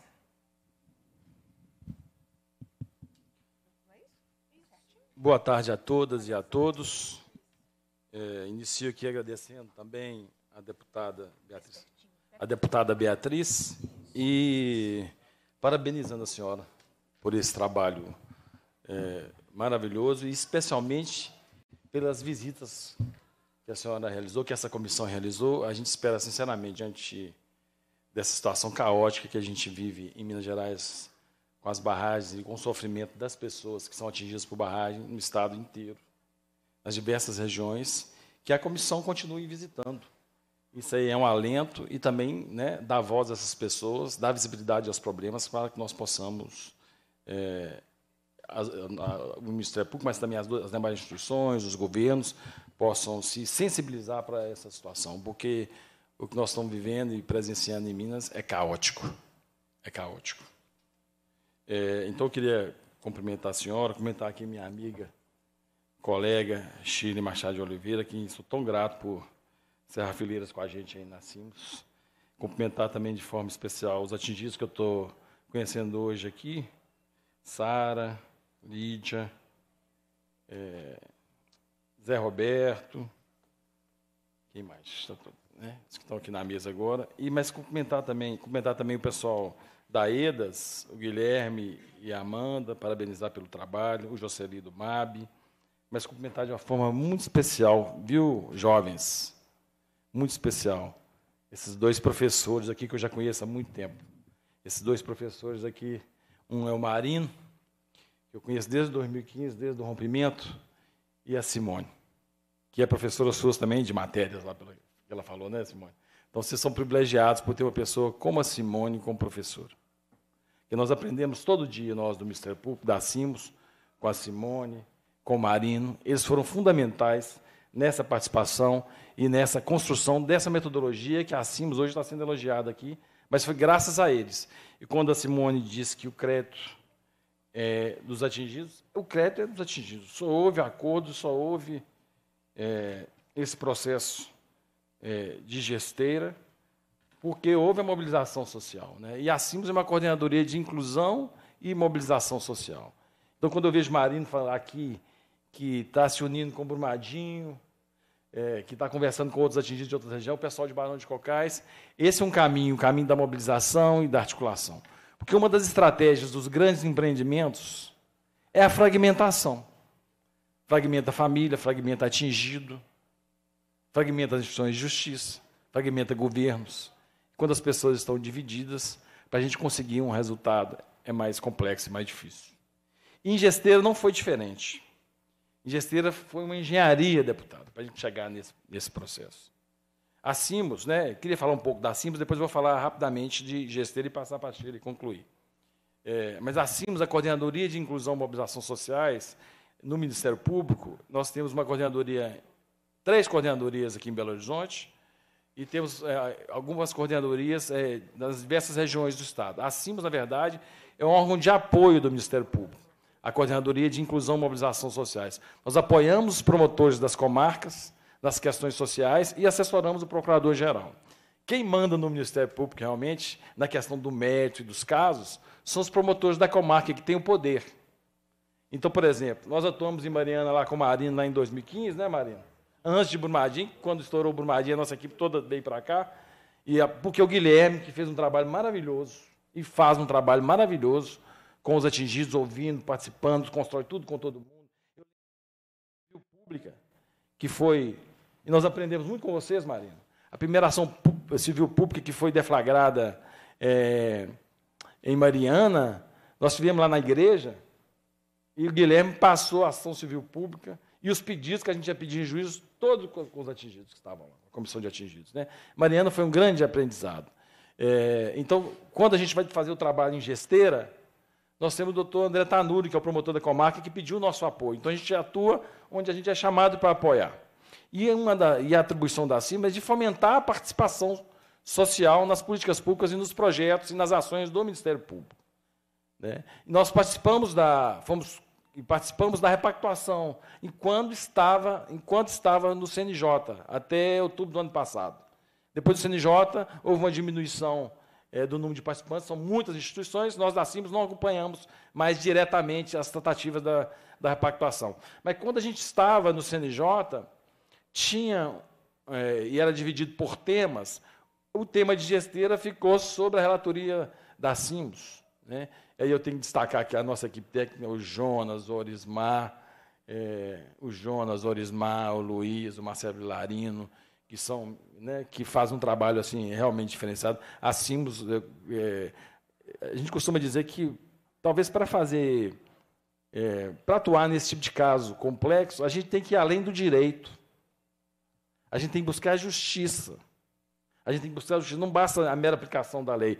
E, para isso, outros olhares de outra ciência é importante. Então, essa, essa atuação multidisciplinar. Enquanto a gente estava no CNJ é, discutindo a repactuação, a CIMOS ficou com a assessoria, na época, com a relatoria do tema das ATIs e com, e com o tema de gesteira. E o que se falava lá no CNJ é que gesteira já era um caso resolvido, porque as pessoas já não, não aguentaram não aguentavam esperar, já eram sete anos na época, não aguentavam esperar, e foram fazendo acordos individuais. Acordos individuais, então já tinham 31 feito acordos individuais, faltavam seis. Eu falei, não. Aí nós, assim, começamos a é, buscar a sensibilização. É, porque muitas vezes também a judicialização, a gente, tem, a gente passa essa possibilidade de diálogo com o judiciário, não tem muito diálogo, não é essa possibilidade, o judiciário é mais travado. Então, nós buscamos uma sensibilização e sensibilizamos, sensibilizamos primeiramente, o conselheiro. O conselheiro é, é, Bandeira de Melo, que no, eu lembro bem, no, quando a gente começou essa conversa, você tem que ir a gesteiras, tem que ir a Minas, você vê, não é possível que vocês vão fechar um acordão aí e vai deixar de existir uma comunidade com o modo de vida que é gesteira. Vai ficar uma marca indelével em qualquer acordo que vocês fizerem, se deixar uma comunidade existir. O conselheiro se sensibilizou, nos ajudou nas, discussões lá com as empresas, houve uma sensibilização das empresas, começaram aí, a partir dessa conversa, a gesteira voltou para o radar. Aí nós fizemos uma viagem à gesteira, fui com o nosso o, o coordenador da Força Tarefa, doutor Carlos Bruno, que também se sensibilizou com a situação e passou a argumentar e ver uma espécie de é, tratamento diferenciado entre gesteira e outras comunidades, da forma que foram indenizadas, da forma que estavam sendo tratadas e reparadas aquela situação, uma espécie mesmo de racismo, um racismo ambiental ali, em relação daquela comunidade gesteira que estava esquecida e totalmente abandonada. E com, desde 2016, no TETAC, um TAC firmado em 2016, havia previsão de, de, é, da reconstrução né, do, do, do, de gesteira de forma coletiva, com parâmetros é, super interessantes, com participação, a, a indenização para ser construída com critérios coletivos, a comunidade voltar, mas isso estava abandonado e a, e a Renova levando numa situação de pagar uma micharia para as pessoas e ficar livre. Então, com a sensibilização da força-tarefa, com a sensibilização do com a sensibilização do conselheiro do CNJ. Nós somos depois é, a Candonga e fomos com o, o, juiz na época, que era o doutor Maico, e também com a presidente do TRF, que nós sobrevoamos Gesteira, não tivemos oportunidade de descer, mas nessa viagem nós tivemos condição também de mostrar a necessidade de ter uma atuação para aquele caso específico. Porque os acordos globais, muitas vezes, o risco do acordo global é deixar a gente para trás. E a gente não queria que o gesteiro ficasse para trás. E aí nós começamos é, a iniciar essa, esse diálogo. E foi muito interessante, como Simone diz aqui. Foram dezenas de reuniões. Eu que ressalto a nossa equipe, né? Foram dezenas de reuniões, porque a, a, tava, a fragmentação era geral. A comunidade estava fragmentada havia divergência entre a comunidade. A nossa divisões. A nossa equipe foi lá em várias reuniões e conseguimos unir a comunidade. Nós tínhamos muita dificuldade de diálogo da comunidade com o município, ainda temos ainda. Mas aí construímos uma solução, junto com o promotor da comarca, fizemos um acordo com as empresas, mas também fizemos um TAC com o município. O município tinha dificuldades acerca da capacidade de gestão, porque é um município pequeno. Nós fomos e conversamos e buscamos um consórcio, é, CODAP, me engano o nome. CODAP, que também entrou no processo para tentar ajudar. E depois do, do, do CODAP, a gente também buscou para ter segurança, para ter o depósito de dinheiro, um valor, são mais de 100 milhões, 126 milhões o valor total é, global do, do acordo. Nós fomos buscar o BDMG, que também entrou. Então a gente construiu uma estratégia, uma rede, e sempre, em tudo, com a participação dos atingidos. Então, houve uma participação efetiva dos atingidos, a gente construiu essa, essa rede, e foi fundamental, e a gente aprendeu muito com isso, foi essencial para o acordo a ação da ATI. A ação da ATI da EDAS, que já não estava lá. Mas a TI conseguiu construir um, construir um capital social lá, conseguiu construir é, uma articulação da comunidade que foi fenomenal. Simone, né, Simone? Que esteve lá junto com a Aida desde o início, Dona Gracinha e tantos outros. Quem ouve essas mulheres potentes falar e expor a situação, não tem como não se sensibilizar. E reconhecer que elas são sujeitos de direitos e mereciam indenização é, justa. Então, a AEDAS participou, mesmo com o contrato vencido, deputado, mesmo com o contrato vencido, já não tinha mais a TI em campo. Durante as negociações, Alguns técnicos, Guilherme teve muitas vezes com a gente, um assessor jurídico da ESA, inclusive, assinou o acordo e acompanhou a discussão das cláusulas. Foi muito interessante, de forma voluntária, esses técnicos. E de forma muito especial, que foi fundamental também, outro grupo que atuou de forma voluntária foi o Jepson, de Ouro Preto. Aquelas professoras são maravilhosas. Todos se sensibilizaram com a força dessas mulheres, que se organizaram lá e estavam lutando por direitos. Viu, meninos? Com a força dessa professora e daquelas outras pessoas simples, como o Zezé aqui, que é pedreiro, como o Marino, que é agricultor familiar, mas são professores de cidadania. E a partir dali, nós fomos dezenas de reuniões, e eles na mesa com a gente, de forma horizontal. E nós, da CIMOS, junto com o promotor da comarca, junto com o Ministério Público Federal, com a saúde do Ministério Público, sandálias da humildade, caçamos sandálias da humildade. Inclusive, na área jurídica, Simone disse bem aqui, na última reunião, 10 horas da noite, no Salão Azul do Ministério Público, a gente quase fechando o acordo, tinha uma cláusula jurídica lá, e os atingidos que nos alertaram. E a gente assim, ia, ia dar problema no futuro, né, Simone? Então, mesmo sem ter a formação jurídica, mas tem a formação é da vivência, conhece com profundidade os problemas, essas pessoas contribuíram e a gente conseguiu chegar a um acordo. Né? Então, é, então, Gesteira, para a gente foi um. É assim, eu fico muito feliz de chegar aqui e ver a Simone mais, mais tranquila um pouco, né? mais tranquila um pouco com relação a isso, e os outros atingidos também. Foi muito interessante quando a gente terminou aquela reunião, é, 10 horas da noite no Salão Azul do Ministério Público, ver também os advogados das empresas, sensibilizados, também estavam felizes que chegaram a um acordo. Então, quando a participação e a, né, e a, e a, a linha de atuação da CIM, e a CIM foi criada para isso, para fomentar a participação, quando há uma ampla participação, a gente consegue chegar mais próximo, não da eficácia da lei, mas mais próximo do que é justo. E quando há justiça, as pessoas têm aquela sensação de justiça e a tendência é pacificar a situação, ou melhorar, ou minimizar aquilo, não é minimizar aquele dano. Então, nós ficamos muito felizes com o resultado de gesteira. É, sempre que os promotores das outras comarcas nos chamam para apoiar, a nossa equipe está à disposição para estar apoiando. A gente leva também essas informações nas outras searas do Ministério Público, ao doutor Carlos André, essas experiências que nos representam na repactuação, ao doutor Jarbas para ter é, conhecimento dessa estratégia de atuação. Então, eu queria agradecer mesmo, vou passar a palavra para a doutora Schilling mas dizer que a Coordenadoria de Inclusão e Mobilização, sempre, social do Ministério Público, sempre que chamada pelos promotores da comarca, nós estamos à disposição para estar construindo as soluções aí de forma é, dialógica, participativa. Essa é, isso é da nossa essência. E pelo que a gente está vendo aqui hoje, deu bons resultados. Estamos felizes com isso. Muito obrigado. Nós que agradecemos. Paulo César, que é coordenador da Coordenadoria de Inclusão e Mobilização Sociais do Ministério Público do Estado de Minas Gerais. Então, promotor, muito obrigada.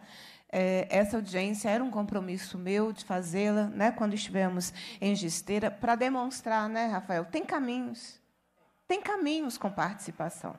Tem caminhos. Né? E quando esses caminhos não acontecem, a reparação de gabinete ela não tem legitimidade, porque ela não vai chegar até as pessoas. Né? Então, muito obrigada. E eu vou passar as considerações agora da promotora de justiça, que é coordenadora da região metropolitana da CIMOS, que é a Coordenadoria de Inclusão e Mobilização Sociais, Shirley Machado, também agradecendo pela presença. Muito obrigada, deputada. Cumprimento a todas as pessoas presentes. É, tentando manter aqui o tempo mas gostaria de dizer assim da minha alegria de ver essa sala cheia de jovens e fiquei pensando no nosso compromisso com o futuro.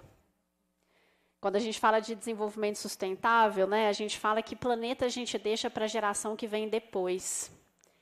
E eu fiquei pensando em todos esses fatos aqui que foram falados, que algo que é incabível hoje, deputada, é a gente pensar num num sistema econômico em que a gente tem empresas que internalizam os lucros e externalizam os prejuízos, em detrimento das comunidades.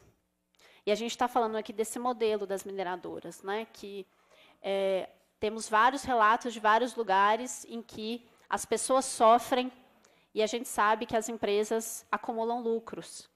E, e ninguém está dizendo que não precisa ter mineração, porque a gente escolher um, um modelo de sociedade que faz dela ainda uma necessidade. mas que isso, segundo o próprio Código de Mineração, precisa acontecer garantido o bem-estar das pessoas que estão à volta. Os seres humanos fazem parte desse meio ambiente e precisam ser incluídos nesse meio ambiente, precisam ser incluídos nos espaços de participação. Então, é, que bom que vocês estão aqui, que vocês são a geração que estarão aqui tomando as decisões depois. E que a gente possa melhorar, melhorar como instituição, melhorar como comunidade, né, nesse processo. É, eu lembrei aqui nas falas de vocês de um caso, né, de um relato de uma pessoa que eu ouvi num desses territórios, que ele trouxe uma situação seguinte. É, ele morava num, num, espaço e de repente ele teve que sair. Esse, esse, lugar que eles moravam era um lugar que tinha muitas explosões por causa das, da, da mineração. E quando eles saíram, ele e toda a comunidade, eles foram para um outro lugar, receberam um terreno e material de construção, restos de material de construção. E eles tiveram que fazer um mutirão para construir as suas casas. E agora eles estavam no outro lugar que provavelmente eles teriam que sair de novo. E aí a fala dele numa audiência como essa, assim, que a gente fez nessa cidade, foi o seguinte: hoje eu não tenho saúde para construir a minha casa. Eu estou trazendo esse caso para dizer que há um processo em andamento de evolução da qualidade da reparação das pessoas atingidas por barragem. Jocely do MAB trouxe né, que tem uma lei em discussão no âmbito federal, tem uma lei aqui cumprimentar e parabenizar a Assembleia por essa atuação, né, de construir uma lei no Estado de Minas Gerais. E há um processo, como o Jocely também trouxe, de implementação dessa lei. Porque, gente, não adianta ter a lei no papel. Né? A gente tem uma Constituição que tem um monte de direito no papel. A gente precisa garantir a eficácia social desses direitos. Eles precisam sair do papel e ganhar a vida das pessoas. E isso é feito através de um processo, muitas vezes, de luta. E a gente sabe que, por exemplo, essa lei dos atingidos é um processo de luta de muitas pessoas atingidas. E agora ela precisa sair do papel. E é um desafio de todos nós. Nós temos ainda, né, então nós temos esse processo, quando eu digo desse caso que eu, que dei exemplo, é um caso recente, e a gente tem outros casos que a gente foi dando alguns passos. E eu acho que essa reunião também trata um pouco disso. A gente deu alguns passos em alguns processos, e não significa que todos esses passos garantam uma reparação integral. A gente está no processo de, como, como, como humanidade, né, de garantir que quem sofreu dano seja reparado. E aí nós temos o caso de Tatiaiçu, né? E, e, e, aí trazer só alguns parâmetros que foram citados, né? De das empresas ainda terem esse papel, né, como o Dr. Paulo disse, de fragmentar a comunidade, que isso acontece, e ainda dizer quem são as pessoas atingidas. Né? Então, é preciso né, que a gente evolua nesse processo, e a lei dos atingidos faz isso. Né? Não é quem causou o dano que vai dizer quem sofreu esse dano. E a gente tem uma lei que diz que várias hipóteses, né, por exemplo, aquelas pessoas que sofreram prejuízo à sua qualidade de vida e saúde, são atingidas. Não só aquelas que foram deslocadas compulsoriamente, né, fazendo uma correlação aqui com a fala do vereador é, Rafael. Então, a gente precisa evoluir a ponto né, de. Ah, também foi falado do, da FALEC, enfim, de outras formas que as empresas atuam. Né? de rapidamente, quando tem um dano, ingressarem no território, começarem um processo de indenização de forma fragmentada, para a gente evoluir para um processo que a lei traz e foi construída né, pelas pessoas atingidas. É um processo coletivo. E precisa ser. Imaginem vocês uma pessoa negociando com uma grande mineradora, sozinha, produzindo prova de todos os danos que ela sofreu. Qual é a chance dessa pessoa de conseguir provar? Imagine uma comunidade apoiada tecnicamente, é que eu faço a menção à assessoria técnica, que hoje é um direito previsto em lei, que, que possa munir as pessoas de informação, que possa, é, enfim, com, orientar as pessoas nesse processo de reparação, né, de maneira que a, se, se tenha uma compreensão coletiva dos danos sofridos, e possa se negociar os parâmetros desses danos, por exemplo, é, os, os, danos morais, quanto que é o metro quadrado da casa né, que a pessoa perdeu ou que precisa ser indenizado, de forma coletiva. Qual que é a chance de um resultado melhor para as pessoas? É coletivo, claro que é coletivo. Né? Foi mencionado aqui a força do coletivo, o Dr. Paulo falou isso. É incrível a força que nós temos quando a gente está unido. E a lei hoje fala isso. A lei diz que o processo né, de reparação das pessoas atingidas por barragem tem que contar com uma negociação prévia dos parâmetros coletivos de indenização. Então, a gente precisa realmente correr. Isso é um dos exemplos, além da participação foi amplamente citada. E aí, aqui a gente tem né, que trabalhar o próprio conceito de participação. Porque a gente tem níveis de participação. Às vezes, uma transparência é o primeiro nível, mas a gente precisa evoluir para e o máximo seria a codecisão, a gente decidir juntos, né? E aí trazer, né, que Itatiaia-Sul, a gente conseguiu isso em alguns momentos e também é um processo sempre a ser aprimorado, né, Zezé? Mas a gente tem momentos de codecisão. O que, que significa? Comunidade e Ministério Público decidem juntos. Porque a lei também diz que são as pessoas que têm condição de orientar o processo de reparação. Aí aqui eu acho que também merece uma reflexão institucional, né? E foi mencionado, né? O Ministério Público ele é o substituto, né? É legal das, das comunidades que sofreram danos e que precisam da defesa, né? Dos seus direitos. Mas a gente também tem uma lei que fala que as pessoas têm que participar do processo. Então eu entendo que precisamos, né? Ter uma reflexão de como conjugar essa legitimidade que a lei nos traz, mas também com a defesa desse direito de participação. Entendendo que se a gente estiver sozinho, a gente está realmente descumprindo esse dever legal que a lei nos traz. Então, é um desafio, é uma construção né, que temos feito. Então, é, Itatiaia-Sul, acho que já foi falado muito desses casos, acho que teve grandes avanços e é um processo ainda em andamento. Só para dizer que o último acordo coletivo, né, ele traz uma, um valor de 440 milhões de reais para as comunidades né, de reparação. É, e as medidas que foram previstas e que estão sendo discutidas foram previstas construídas pelas comunidades. Então, aqui eu preciso também fazer um reconhecimento né, ao Ministério Público Federal, que foi quem iniciou esse processo. É, a gente precisa reconhecer o trabalho da assessoria técnica independente, que, é, pensando, né, gente, que as comunidades não têm obrigação de conhecer, elaborar sobre os seus danos, de saber sobre quais direitos elas têm.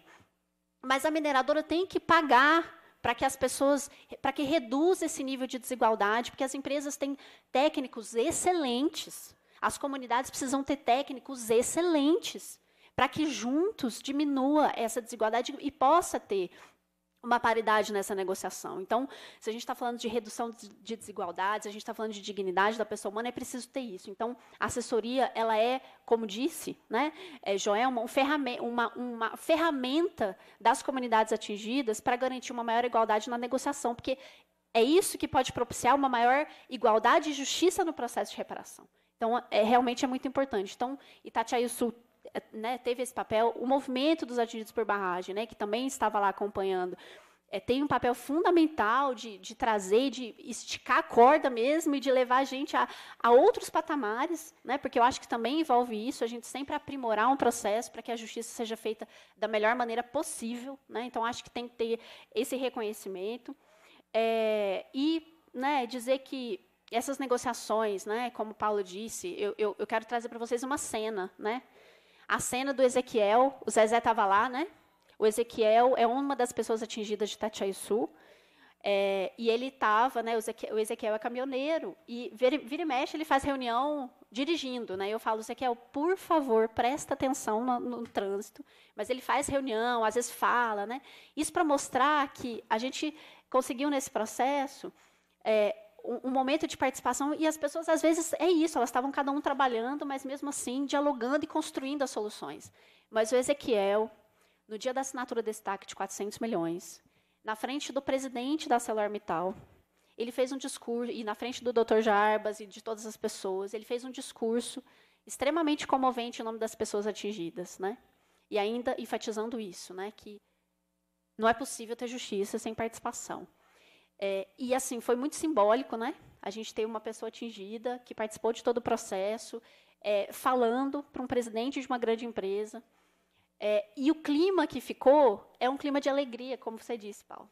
Tanto a empresa quanto a gente, né, tivemos um sentimento de que é, foi a justiça possível naquele momento. Então, é, eu acho que é reforçar que a CIMOS tá, segue à disposição, temos atuado em alguns dos outros casos, então é, só fazer um diálogo aqui com a fala da Lídia em relação a, a, a Brumadinho, né? Temos tratado aí junto é, no processo, buscando ampliar a reparação dos danos individuais homogêneos das pessoas da bacia como um todo. Né? Então, no processo judicial, fizemos um pedido de liquidação desses danos, temos dialogado com o juiz, temos enfrentado né, juridicamente todos os, contra... os argumentos que a Vale tem colocado, enfim. É, só para dizer, assim, reforçar o nosso compromisso como Ministério Público, né, de nos espaços que a gente tiver, aqui como CIMOS também, a gente dar o melhor de nós, para junto com as pessoas, né, não separado, e a gente possa caminhar para um caminho, para algo que traga realmente mais justiça é, para essa situação é, das pessoas atingidas por barragem. Muito obrigada, sigo aqui à disposição. Obrigada, deputado. Shirley, nós que agradecemos a sua presença e participação. Eu acho que a audiência ela está cumprindo um papel muito importante de fazer mesmo um balanço, né? Em vários territórios, de processos com participação, sem participação, e essa necessidade de nós melhorarmos, né? de termos bons diagnósticos e nós melhorarmos. Eu acho que é, a audiência ela está sendo muito importante em, em vários aspectos. Então, quero agradecê-la também, é, agradecer a todos os nossos convidados. É, antes de nós encerrarmos, o Zé Roberto, que é lá de Tatiaio Sul, quer fazer uma consideração, né, Zé Roberto? Da Pedra Grande? Por favor. Por favor. Ô, gente, é, vim falar com vocês assim, falar com vocês a importância assim das organizações é, da comunidade. Nós, por esse empreendimento que, que está acontecendo lá em, em Itatiaio Sul e por essa barragem, nós teve uma notícia de um grande empreendimento da Uzi Minas, né? Então, ela, na, na época do estacionamento, na época da pandemia, ela colocou um, é, uma abertura de expandir a mineração dela e junto de um patrimônio é, público e cultural. Ao entorno disso, ela ia fazer uma lavra, tá lá com um projeto que foi aprovado, né? Sem a participação da comunidade, né? Sem perguntar nada à comunidade, é, de um projeto de é, fazer uma lavra de 2 milhões ponto 9 toneladas ao ano. Então, isso para nós foi um impacto que ia trazer para nós na comunidade muito grande. E, a, além de tudo, acabando com a nossa nascente, com a nossa diversidade que tem lá, diversidade natural. E nós deparamos com aqueles caminhão e máquinas subindo lá para a pedra, né? Que é o patrimônio nosso. E aí nós cercamos ela no peito, entendeu? E nós da comunidade se organizamos e ficamos na estrada e não deixamos as máquinas subir.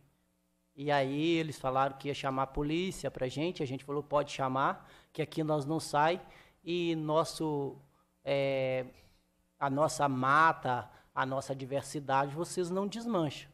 E aí eles abriram uma negociação com a gente lá de conversa com o poder público e a comunidade. E nós estamos indo em, em discussão. Então eu vim trazer isso para vocês, para vocês verem que a gente tem que ficar atento, organizado, para a gente conseguir parar os grandes empreendimentos. Nessa segunda-feira, eles estavam ali fazendo uma nova reunião, que é a MISA, representação de mineradoras que tem lá, né, representa todas as mineradoras, Uzi Minas, ArcelorMittal e Minerita. E aí eles vieram com um questionário para a gente, para a gente assinar que é, prote proteção do meio ambiente, que eles cumprem com a proteção do meio ambiente. Nós não concordamos com isso e eu pedi a fala e falei com eles que e mostrei toda a, a destruição, toda a, a, indignação da comunidade para eles. E eles não teve palavra. Até comentei isso com a dona Shirley, né? Foi na reunião que nós tivemos on ontem. E aí eu passei esse, essa, essa questão para ela é coisa que a gente enfrenta no dia a dia. Eu trouxe só aí para a gente, é, para vocês ficarem sabendo que a participação da comunidade, ficar atento, é muito, é muito importante. Obrigada a todos. Obrigada. Nós estivemos lá Pedra, né, conhecendo a Pedra Grande, né? Eu estive primeiro numa reunião, no final de semana, e depois a Comissão de Administração Pública fez uma visita técnica lá, ouvindo a comunidade e depois conhecendo um, lugar fantástico que a mineradora vai destruir se ela tiver êxito né, nesse novo projeto dela. Ela não terá êxito. Nós estamos aqui né, para proteger é, os nossos territórios, a Pedra Grande. Então, a Comissão de Administração Pública fez uma visita técnica. É isso que o senhor disse, né? As visitas técnicas elas são muito importantes. Né? Ir no território, escutar as pessoas, é, entender a vida das pessoas. É, não, não tem como não ter lado. Né? Então, o lado que eu escolho sempre é o lado das comunidades, é o lado dos territórios, das comunidades nos territórios. Né? E isso tem sido é, importante para a Assembleia entender o que está acontecendo na vida das pessoas. Né? É, então, queria é, registrar isso. Nós temos aprovada audiência pública sobre Pedra Grande também. Né? Estamos batalhando pelo agendamento já também. Pessoal, a gente já ouviu todos os nossos convidados, as pessoas é, que, que, quiseram se inscrever e falaram, é, e que tinham né, é, maiores de 18 anos, que poderiam falar sem autorização. É, fico devendo essa para vocês. Vocês voltam para. Vocês voltam, não, nós vamos continuar tarde né, com atividades com os, com os estudantes. Né? Essa é uma etapa, a audiência é uma etapa desse processo. E fico, fiquei muito feliz porque vocês tiveram condições de participar de um debate que é sobre a vida de vocês, né?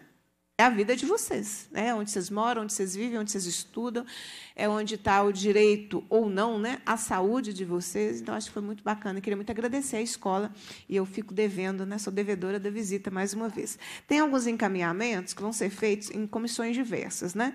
Então, a proposta aqui que nós vamos encaminhar via Comissão de Educação é, porque o que são os encaminhamentos? Nós tivemos falas riquíssimas aqui. E algumas delas a gente pode ter propostas para dar continuidade né, é, ao que foi trazido aqui pelas pessoas. Então, olha só, pela Comissão de Direitos Humanos, perdão, Comissão de Educação, nós vamos solicitar à Secretaria de Estado da Educação essa reforma estrutural da escola. Né? Reforma estrutural, a recomposição do acervo literário da biblioteca. É, então, nós vamos encaminhar via Comissão de Educação. Também, via Comissão de Educação, nós vamos fazer o questionamento ao prefeito de Barra Longa a respeito da aquisição do veículo destinado ao transporte escolar dos alunos do distrito de Gesteira, que foi exatamente o que trouxe aqui a nossa querida Simone. A Comissão de Direitos Humanos, eh, nós vamos ah, encaminhar exatamente a discussão trazida pelo Rafael sobre o direito de reparação dos danos sofridos por 6 mil ribeirinhos do município de Barão de Cocais, que foram atingidos pelo acionamento do Plano de Ação de Emergência da Barragem Sul Superior, de propriedade da Vale, que não foram considerados no âmbito do acordo firmado em 18 de agosto deste ano. A Comissão de Direitos Humanos também nós vamos encaminhar ao Ministério Público e à Defensoria é, a, o pedido de providências para que seja elaborada uma matriz de danos sofridos pela população. Aí é o debate trazido pela Lídia, né, da questão da bacia do Paraopeba. Ah, e que nós sejamos comunicados para que a Assembleia possa também acompanhar. Ah, também ao Ministério Público, à Defensoria Pública e ao Ministério Público Federal, é, há um pedido de providências, mais uma vez, que a gente sempre faz esse processo, da garantia da participação direta das pessoas atingidas pelo rompimento da barragem de córrego do Feijão em Brumadinho, no Comitê de Acompanhamento do Acordo Judicial de Reparação. Que eu acho que esse é um, um balanço que nos une aqui, né, na necessidade de ter uma participação direta. Há como fazer isso? Né? E a experiência é, trazida aqui da negociação é, em Tatiaio Sul e em Gesteira demonstram que é possível esse processo. Né? Então, foi um debate muito importante. É, e também, ah, aqui no âmbito da, da Comissão de Administração Pública, que esta audiência ela seja encaminhada é, ao Ministério Público, ao Ministério Público Federal, a gente vai aí estreitando essas relações, fazendo as avaliações e que possa institucionalmente ser encaminhado também.